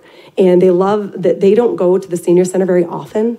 They will go every once in a while, but when they go there, it's not really a relaxing environment for them and it's not a place they can sit around and socialize. They're looking forward to a place to go down. Um, The people at 277 Water Street are so much fun and they're pistols. I mean, they, I go with Melissa and we do, um, I do the um, senior programming with them. And I, I laugh all day. I mean, they have so much energy and they need a place where they can go, they can socialize, they can move around, they can incorporate with kids. They love the idea that kids are going to be there and they can watch kids play, they can watch kids, you know, doing sports. They love having that interaction. They're really excited about that one. Um, they're excited about having Meals on Wheels there as well because a lot of them get their um, get their meals from there. Um, so majority of the feedback that we've gotten has been very very positive. Um, and uh, Riverwoods, we actually, um, Greg had a meeting with them today. I wish he wasn't sick, um, so he could give you um, some feedback on that. The feedback that we've gotten from a number of individuals, um, and you can definitely um, speak to Bev as well, because I know she's been a part of our discussions from Riverwoods, that they're very excited about the project. They, they need, know it's a need in the community. They know that this is something that the community needs. We have a meeting with them on March 6th. So I wish that this was March 7th so I could give you all their feedback because that was the, the time we could get uh, booked up. Um, But I'd be happy to report back to you what they said. But the people that I've spoken to there so far have been very, very supportive of this program because not only are they looking at themselves, but what I find over there, which is really impressive to me, and I don't know if it's a generational thing, but what I've seen is that a lot of the individuals over there that I've spoken to are looking out for people that may not be able to afford something like they might have. And um, they, they admit they've got a beautiful facility at Riverwoods and they're very lucky and blessed to have it. But not every senior in town has that. And their mindset is that they should have it too. They built up this community. And so they have kind of more, a lot of a give back um, mentality. Um, and everyone I've spoken to over there, that's been the feel I've gotten over there has been the give back mentality. And that's been heartwarming to me because for me, that's what I look at in this entire town. I look at, you know, not people that can really afford to go to private places and, and have memberships, but I look at the people that don't and why don't they deserve it too? They're, you know, they deserve it just as much as us. And um, I'm heartwarmed when I hear Yeah. people make that statement to me. so. Agreed. Uh, I'm gonna ask a tough question, and, and it's based on me not having done the homework. Yeah. So, uh, other, what other committees or, um, uh, boards or, or groups haven't endorsed it? Have you had any non-endorsed? Yeah, and it's a good question. The one that we had not endorse us was uh, the Facilities Committee. Okay, And the Facilities Committee um, looked at the project, and they are all very, very qualified individuals, um, incredible backgrounds. And I would have loved to have heard the feedback that was um, based on what our building structure was and what the needs of our building were, as based on the 2015 facility report that we got from the Turner Group. Um, What we did get, and and it's online, you can definitely take a look at it. I'd love for you to pull it up um, is a report that really looked at um, the town as a whole. And it looked at prioritizing on what the town needed and said, this is a priority. The rec isn't a priority over water. The rec isn't a priority over this. All these things need to be done. Um, I don't disagree that they need to be done. I absolutely agree that they need to be done for sure. But I don't think that it's for a committee to prioritize and make a recommendation based on what their opinions are. I think that the voters should be able to do that. Um, but if you look on the, um, facilities report and you go on the Exeter, um, rec page, Yeah. you can pull up their full report and I encourage you to do so. Sure. But I also encourage you to read through it and see the responses, um, to those, res- to those questions. Because we were able to respond to every single concern that they had, or they said, uh, one of the things was, um, have a facilities, an independent, uh, facilities, um, report done. yeah, Well, we did that in 2015, and 2015 told us we needed to do this. So with five more years wear and tear on those buildings, Yeah. I don't think it's going to come back any differently. So questions like that um, were answered on there. So definitely take a look and comb through. Yeah. um, Because the select board had that full report when they made the recommendation three to two to move it forward um, for vote. So um, had the select board not had that report in hand when they voted to move it forward, then I would say raise an eyebrow Yeah. um, to it. But certainly feel free to raise an eyebrow too, because I want everybody to read it and make their own assessment and opinion on it. Um, But had the select board not had that report prior to making their decision, um, then the question to move it forward to the voters would be in question. Uh, But they had that report and had the opportunity to read it before they made their decisions to put this forward to the voters. But, but are you saying that the, the key issue was that there were other things that were just a higher priority? Yes, it was more prior. Are there any of those things that are higher priority also on the ballot or No. with plans ready to go? No. Okay, so there's No. nothing else that is ready to go? Yeah, yeah. So, um, it was, it- that- and that's, that's what our concern was with the report, um, was that, um, you know, we know that projects take time. Um, we know that the town needs the water. We know that the, and I, I fully support that, and they are priorities for the town. But like I said, those aren't rocking and ready to go. Right. Um, and we don't know how long it could take for some of those plans to be in place. So this is in a ten-year bond. Um, could we be almost done paying this off when the next one comes up and then it drops off our taxes? I don't know. Um, it's not a question I can answer because they're not in play yet. Um, so that's a great question because that was my thought process as well on that. Um, was, um, we definitely have priorities in town for sure. But it's really for the voters to decide what those priorities are at this point in time. Um, and it's not putting water below the priority, it's just saying this is a priority as well. So So we no, to water, water's set huge, but if there's not a plan, then, uh, in place, then, uh, and I'm not sure I understand why you would delay something that seniors and the youth and everyone in between needs, but. Yeah, that's okay. our thought process as well. Okay. Trying not to push that on, but, um, you asked the question, I didn't want to really Nope, discuss it, nope, but, nope, fair enough. but, um, that's, yeah. Fair enough, great, thanks, Fran, Uh, thanks for okay. answering that, yeah. What else do you have for me? Anything else? I don't, Chris? Okay, I don't think. I'm gonna let you questions for discuss, and I'll, I will hang, I won't pay attention, but if you have any questions that come up, I want to be here to be able to answer them, so Okay. discuss what you need to, and then. Let me know if you need- Great. And you may have known the rules better than I, what has to happen by tomorrow if something happens? Oh, no. No, We- Just, to- we we just need, if to- we are going to write an article in support of this article, we need to get it submitted by tomorrow so it can be published before people vote. Okay, okay. Um, my thought is, I don't know what Bev's up to, but if someone is going to write this, Bev tends to write. Um, and she's, She was an English teacher. Oh, I didn't know that. Yeah. That makes sense. She writes a lot. Um, but one que, in that, one thing that I think we might want to add is, so there's this awful performing, really leaky old building, I think. Our, we would recommend passing this, but then we'd also recommend that that be, uh, um, updated to the highest efficiency possible. Like whatever happens to that building, whether it's sold or whether, like, that when it is sold, that part of it is that it has to be updated to the highest efficiency possible, or that the town does that, or, um, just so it's not like, well, we've moved out of this old building, but it's still hanging on and we still have this. Yeah, at least some Energy positive, hub. some positive disposition, uh, so Yeah. that it, A, it's no longer a burden, uh, ec- you know, both economically and environmentally on the town, and then, and, and better yet, that it become. And uh, human health wise, I'm Human sure it's health-wise, not good yeah. to be in there.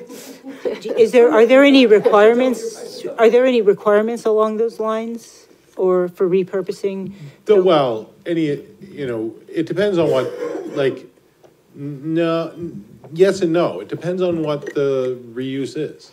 So like if the town, I mean, the town, the town hasn't made any, dec- there's several, many options what you could do with that property. Right, right, and I think like, if we were to write an article in support of that, I think that's something that we should attach onto. We support this, and we would especially mm-hmm. support renovating these buildings to make them more energy efficient. Mm-hmm. That's not. If they, if they like- retain, if they're retained by the town. If they're retained, or if they're not yeah. retained, selling them, but when you develop them, you have to meet this energy performance. Yeah, and if someone, if someone substantially rehabbed it and triggered building permits and triggered the building code, then they would need to meet all the current energy standards. We're I think like what you're saying is go 2015 now. beyond that. Yeah.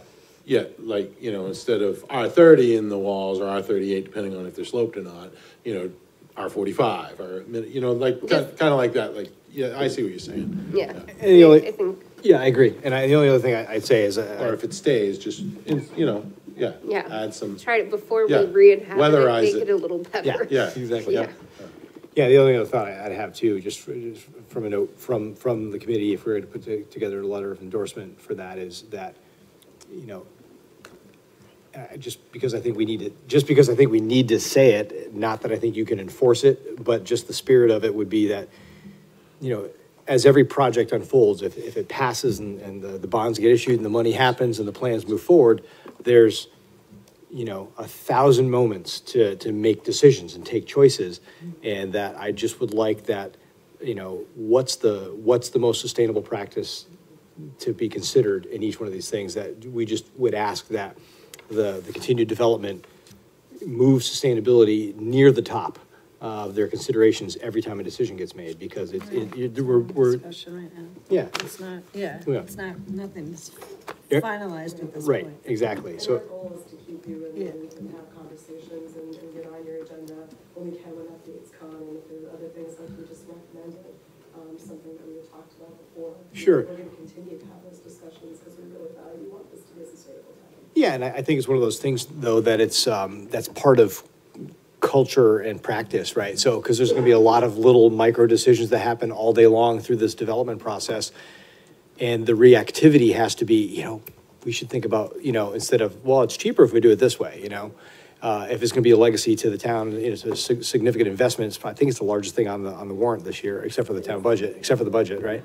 Um, And along the lines of like, when you're saying, um, this is the cheaper option, this is the more sustainable option, um, a lot of ways of making sure you do the right thing, not necessarily, um, cutting out and, but by the time you get to the end, mill, we just are gonna do the cheap one, um, of doing a third-party certification for the building. Um, and I wasn't sure if that could be part of the fundraising effort to cover the cost of doing, um, whoever. Energy Star, Energy Star doesn't even cost anything, so you can, yeah. Um, so Energy Star, you can have it designed to Energy Star, and then after you've been in the building for a year, you submit all of your energy bills, and then you can get Energy Star certification for the building. Um, it has to perform better than seventy-five percent of comparable buildings. Um, but yeah, there's LEED, there's uh, many different building certifications that you could look at. And I wonder if that could be part of phase two of the fundraising efforts, because it looks like you don't, you don't have to change much to the building, you're already doing it. But that way it could ensure that it's incorporated as part of the building, but it's not something that's taxpayers are paying for, which might be Makes sense. um, and off this topic, if you would like any input, um, this is my background and I'm happy to like sit in on meetings and help that part of the building, like, I'm, Our, uh, rec advisory committees are open as well, so I'll make sure that I. Okay. Let You guys know, yeah, they're, they're open to public, we love when people come in, and we love when people come in and, uh, get their opinions, especially when it's like that. okay, well, especially like, just like building review document, cause, um, that's what I'm doing for the Unitil building, so. Sounds like fun. It's now officially my job to do that too. Instead of part-time. That's awesome, I appreciate this. So I think what I'm hearing is, and we need to vote on it, is an endorsement, but a set of probably conditions. Endorsement, party to a few conditions, and maybe we should say, um, you know, s- sort of the basis for endorsement too, which, Yeah, I think condition's a strong word. I, I, I- I think I'd use the word recommendations, or we'd like, Yeah. things, Okay. things we'd like to see. Okay. Uh, But yeah, I Okay. think, you know. Yeah, I wouldn't say it's a conditional endorsement, I would say it's an With endorsement. recommendations, okay. With these recommendations, and I would reach out to Bev, because she's been involved and aware of it. She's, yeah, she's Dr. Brad Pivet. Okay, so I would reach out to her, but I'd also want to involve Chetna and make sure she's on board, but like, we can vote on it, but I would Yeah. just want Chetna to have a part in the Sure. writing or review. well, she'll get, she- yeah, she'll get, get what we do, but. Yeah. I mean, we're a quorum, we're a board, and yeah, so, I mean, she's probably watching us. Um, so we can, we make a decision, that's how we all Text. work, is any one of us is gone, we still plug on. Um, but uh, the recommendations I'm hearing are three, one, that the existing buildings on Court Street, um, must be made more efficient if repurposed, or should be made more efficient if repurposed. Um, that sustainability be at the forefront of all decisions along the way, all decision nodes or decision processes. And then, um, to attempt or pursue or consider pursuing a third-party certification such as Energy Star or LEED in Phase Two. Yeah. Yeah, Yeah, because I think, like, it sounds like you're doing a lot already, Yeah, so, um, And I know that, just so you know, they, they did look into leads as well. Um, I think it was, I I don't want to misquote the number, it was, it was, and it wasn't a question of like money over, uh, it was exorbitantly, Yeah. um, expensive. yeah, so that's, It was, yeah, it was, it was, I mean, would have added, I mean, upper echelon, echelons of. well, monies that's, I, To, um, It depends on who you're asking too. Yeah. Um, cause there's just the certification, which is like five thousand dollars, but then some architects you talk to. Right. add a LEED fee of extra twenty percent to Right. the project, which is Right. just, right. yeah. So, no, I'm, I'm working with this right now. But I like the This is fundraising recommendation, I think that's great, um, on that piece, I think that's fantastic. Yeah, which there are like parts of it, but there, there's ways you can get the certification and not have it cost excessive amounts by choosing what you're going for carefully, so. Perfect. Okay, and then I think if I said, you know, maybe basis, and this is something that anyone can add to, I, it sounds to me, you know, based on kind of looking at things in the town for over, at least over a year, Dave's much longer, but it seems that the sustainability considerations for this project far surpass any existing building or public, you know, office space development we've done in the past. Is that a fair statement? Like new construction? Well, it- right, anything that we've done as far as a public, public facility. project. Yeah, Yeah, I mean, I'm, I'm not too familiar, I wasn't, I haven't been here, like, I've been here five years, but I don't think we've had any. Just the library, and we certainly didn't put this Well, level yeah, stuff in okay, the yeah, library. that's just still under construction and Right, decisions. Those right. micro decisions you talk about Yeah. are still, uh, being Well, I- made. but even at the macro level. I Yeah, just- yeah. Um, No, I, I, yeah, nothing I can think of. Okay. Yeah. Okay, that's fair. And then I think the other plus for me is extensive coordination across various communities, from the youth to the seniors. Because that's something, you know, even last year when we were working the committee trade uh, position and all that, that there was input from some people in the community that um, part of sustainability in their minds was the intergenerational, sustainable community type of feel. There, there was, there, we did receive comments along those Yeah, lines. and which that's actually something we've discussed quite a bit, and we've actually dug up um, studies, and, you know, obviously, my husband and I come from large Greek families, and our, our folks live a long time. And we're very grateful for that, but a lot of it, we, we attribute to the fact that they're around all different ages, running around. You know, my kids would sit down with our 103-year-old aunt, and we make palm crosses at Easter and you know silly stuff like that. But we we made sure the kids did that, not just for the kids because the kids learn so much from it Yeah. and get so much from it, but the the seniors their longevity is shown in studies to really progress, and their their quality of life is so much better. So that's our goal, and that was one of the the reasons for wanting to pull all generations together is because it's a learning component that I don't think we see as much as as we used to. I mean, you know, we see it. My kids are at sports on on Sundays now. My son's an altar boy, but we're at baseball most of the time now. But all those components where he was around the community and around seniors in church or after church or at family functions that we can't quite get to now because we're so busy we just bring them in together and have it be part of it. I'm, I'm thrilled.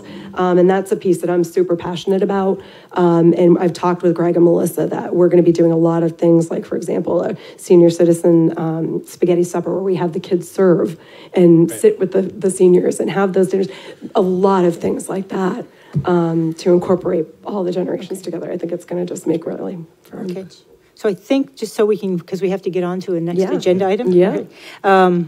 If there's any other recommendations besides those three I mentioned, and then I think for a basis for the- the, if we were to do an endorsement, we'll do a motion, the two, the two I mentioned, and then I'd say the third things are, it seems like there's been an honest attempt to address the butter comments. And maybe Yeah, the only one you couldn't have. get to is you had to have that road part of the way through. Unfortunately, it Okay. is. And I mean, we've even talked to them as well about um, being able to adjust times during construction. So we have a two-year time frame in which we're looking to have this done. But we've said it may go a little bit longer because if they don't want construction on weekends, we're willing to pull back and do that so that they can sleep in or have their time to not have the noise on weekends. Um, A normal start time is 8 AM. We can, or I think it's 7 AM or 8 AM. We were able to put, is 7, so we were saying we could push it to 8. So we're trying to work with them. Um, We had a, a meeting um, scheduled just for the abutters on that side, and we had one show up. But we put it out for them to come, and we were hoping they would come so we could have these discussions further, but um, we only had one individual show up, which took, she took copious notes, so we're happy. Hopefully, she brought some back um, to them. Um, And if they're watching, we want to work with you. I mean, we worked with Wayside um, because we were able to, because it wasn't the, the functional part of the park. Unfortunately, they happen to buy on the functional part of the park. Um, in some concessions, like I said, we're gonna be working with our lighting crew, um, to make sure that the lights aren't glaring lights on them. We wanna work with the specific lights that are safe to the, you know, to the facility, but aren't shining on their facility. Um, when it's shut down time, those are on timers and they're gonna go off. Um, the, like I said, the construction times, um, things of that nature. We've um, tried to reassure them that there are going to be a number of trucks that come through with loam, but they're not going to. I think the number was like 2,200 that's out there right now. There, there may be, but they're not all coming through at once. It's a two-year project. They're not going to all line up on High Street and come down. But that's the perception that's being painted, and and I just don't want that to be the perception being painted. I mean, we're, Okay. you know, it's it's it was the same when they were having construction done in their complex for the town. It's going to be like that for for um, the park. So. Okay. So then, uh, does anyone else have anything else, or do we want to try to pursue a motion here? Okay. So that, we'll pursue a motion to endorse Article Four, um, based on the, you know, the extensive sustainability considerations that really far surpass any town project to date. The extensive coordination across various communities and stakeholders throughout the town, and the willingness to continue to work to address abutter comments and concerns. And then with the recommendations that existing buildings on Court Street uh, be made more efficient in however they're repurposed. Um, Keep sustainability at the forefront of um, all decisions and decision points in the process. And consider a third-party certification in Phase Two um, Through through the fundraising. fundraising. Yep. With Energy Star or LEED. Did I get those? Is that okay? Mm-hmm. And, um, yeah, I'll second that. And I think Okay. too, if you could, um, if you could, um, if you were comfortable addressing as well, I think we had a really good robust conversation about the responsible removal of trees. Um, because I, it- it's, you know, um, that's true. the There is, there is a perception is. lot of misinformation Yeah, there. there that. is. It's been made like we're, you know, we're bringing in Humvees and we're just gonna mow them over. Um, and that's not it. I mean, that's just the perception is like these Tonka trucks, like, it just, it's this awful perception that we're, we're coming out with these, you know, um, awful intentions. I mean, to have, um, productivity and to have growth, you've got to, unfortunately, it's part of the component. Um, and the land swap will hopefully, you know, address quite a bit of that. Um, but I think that, it, you know, we don't want to take down trees if we don't have to, but if they need to be taken down, they can be done responsibly. And Okay. that's what our goal is, what we've been trying to do. And I'm okay with adding that in there, okay? Yeah, agreed. Thank you, Okay. guys. All right, and you still second? I'll still second that. Okay, all right. Um, all, anyone, Aye. aye? Aye. Many eyes. Okay. all Thank right. you for your time and thank you for your All right, endorsement. We really appreciate it, guys. Sure. Thank you. Thanks for coming. Any further questions, feel free to reach out. You Great. should go to sleep, though. Yeah, I'm actually so wired to death by your endorsement. I don't think I can now. okay. Thank you, guys. Have a good night. Thanks, you Feel too. better. So I will probably just try to write something up for this tonight, send it to everybody on the committee. and Okay. if, Uh, like if you know the process, if you can finalize it, because I'm headed to DC in the morning. Um, Right, yeah, I think we, just make sure we do whatever we need to do to get it through. um, I don't think it's a matter. If, if we want to have Bev proofread it with her English teacher, you know, Red background. pen, yeah. Yep, yep.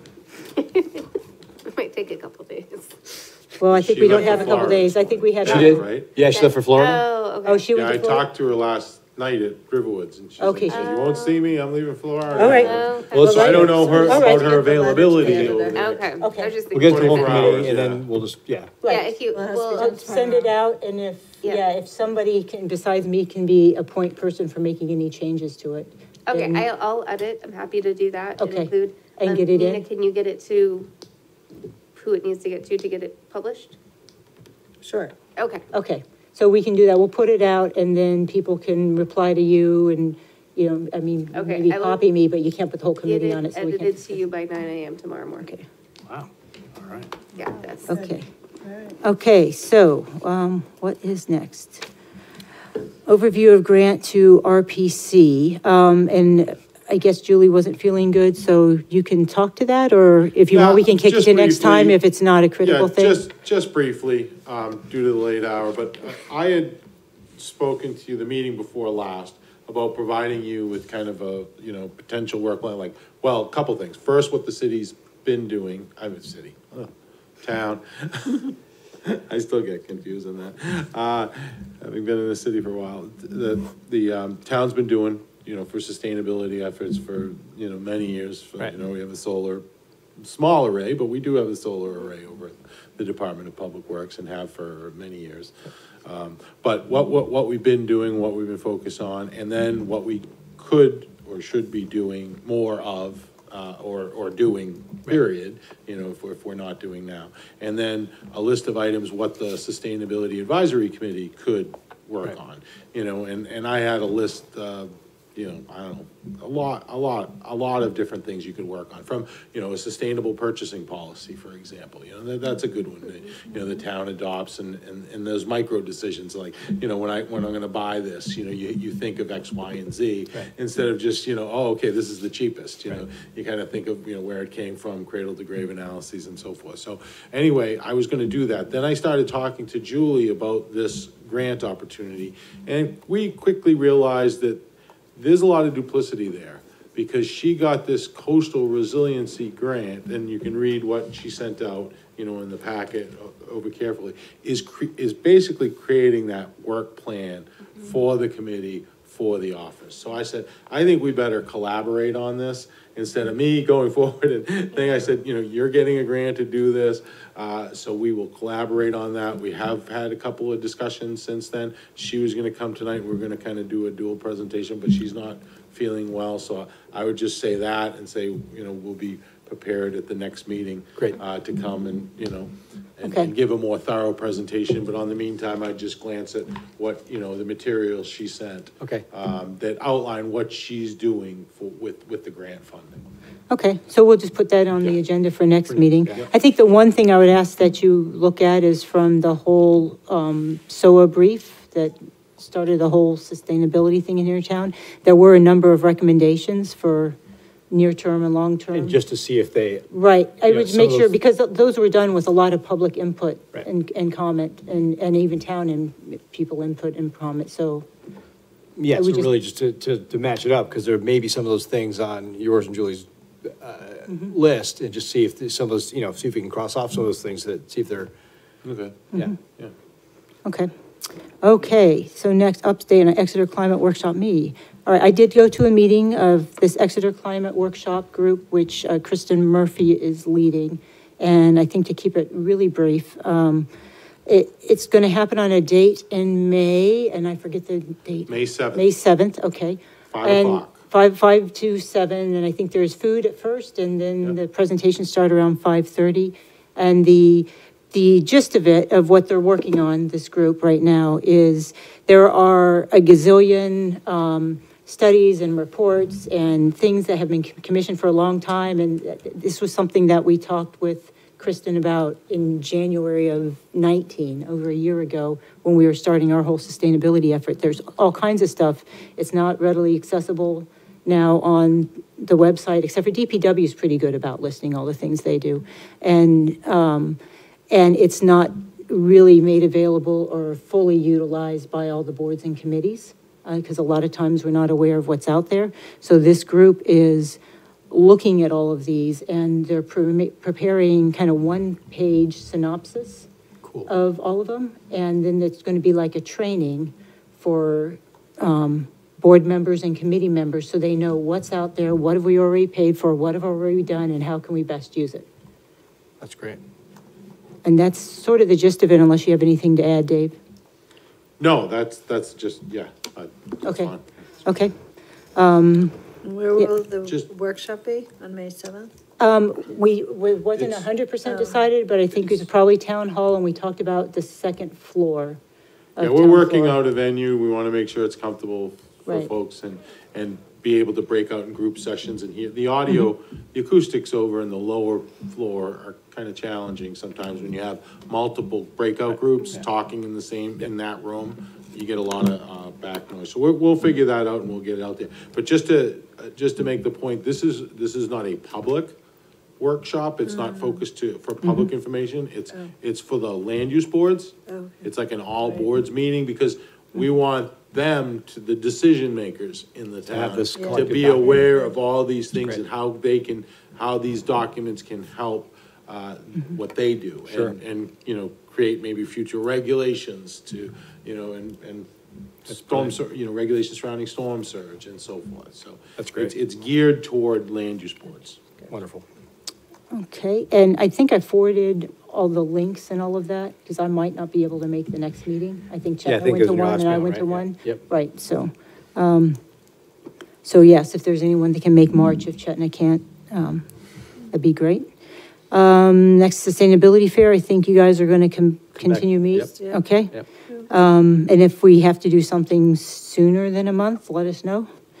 Um, update PEA sustainability students, um, neither of them are here. I know, I didn't get any inputs, but just kind of based on the discussion and other discussions, I sent them a bunch of thoughts and ideas in a range, and I think they've really focused on, they're working on, um, um, ways to get public information out in support of Articles 25 and 27. They've also spoken with, or sat down with Lou Hisrod of the Energy Committee. Okay. And I think that's, I think where they're at. Um, But if we have any need to reach out to them, we can, or they can always reach out to us.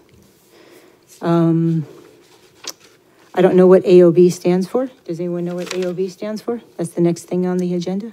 Hmm. Any other business? Business. Any other business? Okay, all right. for the day. Oh, and I missed one. Follow up on yard waste recycling proposal at transfer sta, yeah, apparently the select board voted it down, like five to nothing, Five to Really? nothing. which kind of blows me away. as that's Really? Kind of a, since they, I think, weren't they five to nothing and putting it forward to the next meeting and kind of, and I don't understand really why. I don't know if you have any, You know, what was the discussion that, that turned it? Yeah, I, I wasn't at that meeting, um, so, but I, you know, I got the recap and the rundown. There were a few issues, um, there were some concerns, DPW had some concerns. Uh, there i- there is an aquifer area, uh, that, that area that they were planning on does flood quite a bit. Um, in the spring, I've seen it like, you know, I mean, Like a you know, yeah. well, I don't know how deep, but water, you Yeah. know, um, in that low-lying area. Because it was an old pit and it's gotten excavated and maybe gotten into the seasonal high water table, Ah. even probably then some too, because maybe not in, into it, but on some higher flood years, you know, it's definitely, I've seen it since I've been here in the springtime. Uh, so that could, you know, th- there were a number of, um, concerns. Uh, the abutters came, you know, there were quite a few abutters around it, um, that spoke, that spoke in opposition to it. Um, so there were a lot of unanswered questions, I think that's, um, what happened, but that was the ZBA, not the select board. okay. That was the ZB, okay, then, That was the ZBA, because they Okay. needed, they needed a, a, I believe, a variance to operate. Okay. Um, because Okay. Right, even though it's on town, that, yeah. even though it's on That's good, town 'cause that was- land. I con- was confused by Yeah, that. it's not that a, I it's heard. not a Okay. governmental use. Okay. So it's a, it's, it's on governmental land, but that doesn't exempt it from land use regulation. A governmental use is exempt, like if you put a school there, you know, you, you, you're exempt from local, uh, Okay. regulations. But they're subject to them, so they had to go, and it was the ZBA. And, and, you know, admittedly, a variance is a high threshold. It's Sure. not, it's not a preference of whether I like it, it's a good idea, it's a bad idea. There's five set criteria, uh, that, you know, are established, you know, their meanings established through case law, and, and it's a very high bar, it's prohibited. So, You know, so it's, it's, it's asking for relief from something that's prohibited. And it didn't, it didn't pass. Didn't mass, okay. Okay. Um, the only other business that I think I'm aware of is, is just, a, I thought that, um, one of the things, again, from the whole original sustainability initiative last year was what things to uh, talk to the public about, what can I do? Because that was the, one other thing we heard is, what can I, Joe Jane citizen, do every day to be more sustainable in our lives? And, you know, and we've thrown out things like that before, whether it's the, you know, use these instead of single-use bottles or, or, you know, buy recycled toilet paper so we save the forests in Canada, or, uh, there's a gazillion things, but if that's something we came up with a concise top ten with or, or whatever it is, um, is that something that there's a place you can post as our sustainable. Yeah, I wanted, officer? I wanted that to be part of the sustainable, uh, Sustainable Exeter video that I've started working on. Right, yeah, you were Bob you were about. talking about that. Um, Okay. and I've gotten a couple interviews, uh, you know, I've asked a couple people, Mm-hmm. I would expect maybe, you know, all of you to participate or get interviewed. Uh, Okay. I, I'll get that email out shortly, and Okay. that was the whole purpose of it, to like people to walk away what they do in their lives. Right. And then someone can watch that and say, oh, I could do that, I could or add I that, could do yeah. this. and- Right. And, or you could, when you do it, you could do your, your top ten, or whatever, you know? Okay. Like, get that message out there, Okay. so. Um, or if you wanted to make something up, I did, I got the sustainability page, there's a sustainability page on our website that's up and running that has a link to all those documents we were talking about earlier for the great. climate outreach. So Okay. It is there. Great. If people wanna, you Okay. know, Great. get it, and I could put something there, so. Okay. Yeah, whatever you come up with, you know, I Okay. can figure out how to, how to get it out there. Okay, So, all Makes right. sense, yeah, I like I it. just had a Okay. couple, Yeah, please. Yeah, quickly, yeah, okay. just because I thought I'd let you know what I've been up, uh, you know, uh, what I've been up to. I mean, I got, they designated me the sustainability officer, so I just want to tell you a couple of things I've, Congratulations, I yeah, didn't know yeah. that. Oh, you didn't? No, Oh, yeah. that's right, Jamie, you were here last time, yeah. Select board did, Yeah. no, I was here last time. Oh, that's right, no, is that the? It was the time times before. before Yeah, that. yeah, it was the time before. I wasn't here at the time. I, We've I wasn't missed here each the other. last I meeting, got so, you. Okay. yes. So, uh, you know, for this year, you know, that was, Yep. you know, um, or until, you know, further, we'll see how this work plan goes and, and the grant goes and, and figure out from there. But just wanted to tell you, I submitted, um, been working on a draft work plan for the UNH fellowship. Like a, too. You know, Yeah. ten, yeah, ten-week work plan there. Yeah, Yeah, you too. Yeah. Yeah, that's, uh, yeah, it's an interesting exercise when you, you know. did you look at the templates? They were, I oh, yeah. just grabbed from the template and it wasn't, yeah. Yeah, but then I, st- there was a lot in between, like to think about and what they're gonna do and specifically what, you know, because I'm trying to Specifically envision related them to- sitting in there and specifically what to do, so that took some time, but we got that in, um, we got the draft in there, we'll be interviewing three candidates, we got three candidates, uh, interested in Great. specifically in the, uh, Exeter project. I mean, that they kind of called through, UNH kind of calls through. We're gonna interview all three, uh, next week. I think we set up March 9th and tenth. I'll be sitting in with UNH, uh, over at their campus. Uh, I believe it's at their campus, but I'll, I'll find all the email. I think it's a video. Oh, Vim, oh, it's that? I think it's a video Yeah, they interview. use that. Because do I they think some call of it? the, I think some of the students are like across the country. Oh, okay, yeah, then So- I don't have, I don't have a video camera on my thing, Oh. but anyway, Zoom or whatever they call it. Yeah, Yeah, something like Zoom, that. yeah. Yeah, and then I, I've been attending the Energy Committee meetings, uh, and, and I just wanted to pass along, the Energy Committee offered assistance, uh, for the, for the, um, committee, if you were planning anything for Earth Day, they are not. But then I told Renee that you were planning on some sustainability fair, but I didn't believe it would, it would coincide with an Earth Day, you know, what is that, Yeah. late April? Um, April, yeah. yeah, late April. third week in Yeah. April or something Yeah. like that. I was like, I don't think that they're 22nd, gonna the pull that 22nd. together, so. And Yeah. what you had, you had made a good point, Christopher, earlier about, you know, potential public health concerns, maybe we wanna just hold off Yeah, on maybe, maybe gatherings. our, our Earth Day they're recommendations not- might be what you can do at home, yeah. Plant a tree in your backyard. Yeah, maybe we'll, not maybe we'll just keep working on the video. No, I'm and just so saying. forth. Yeah, so, I know.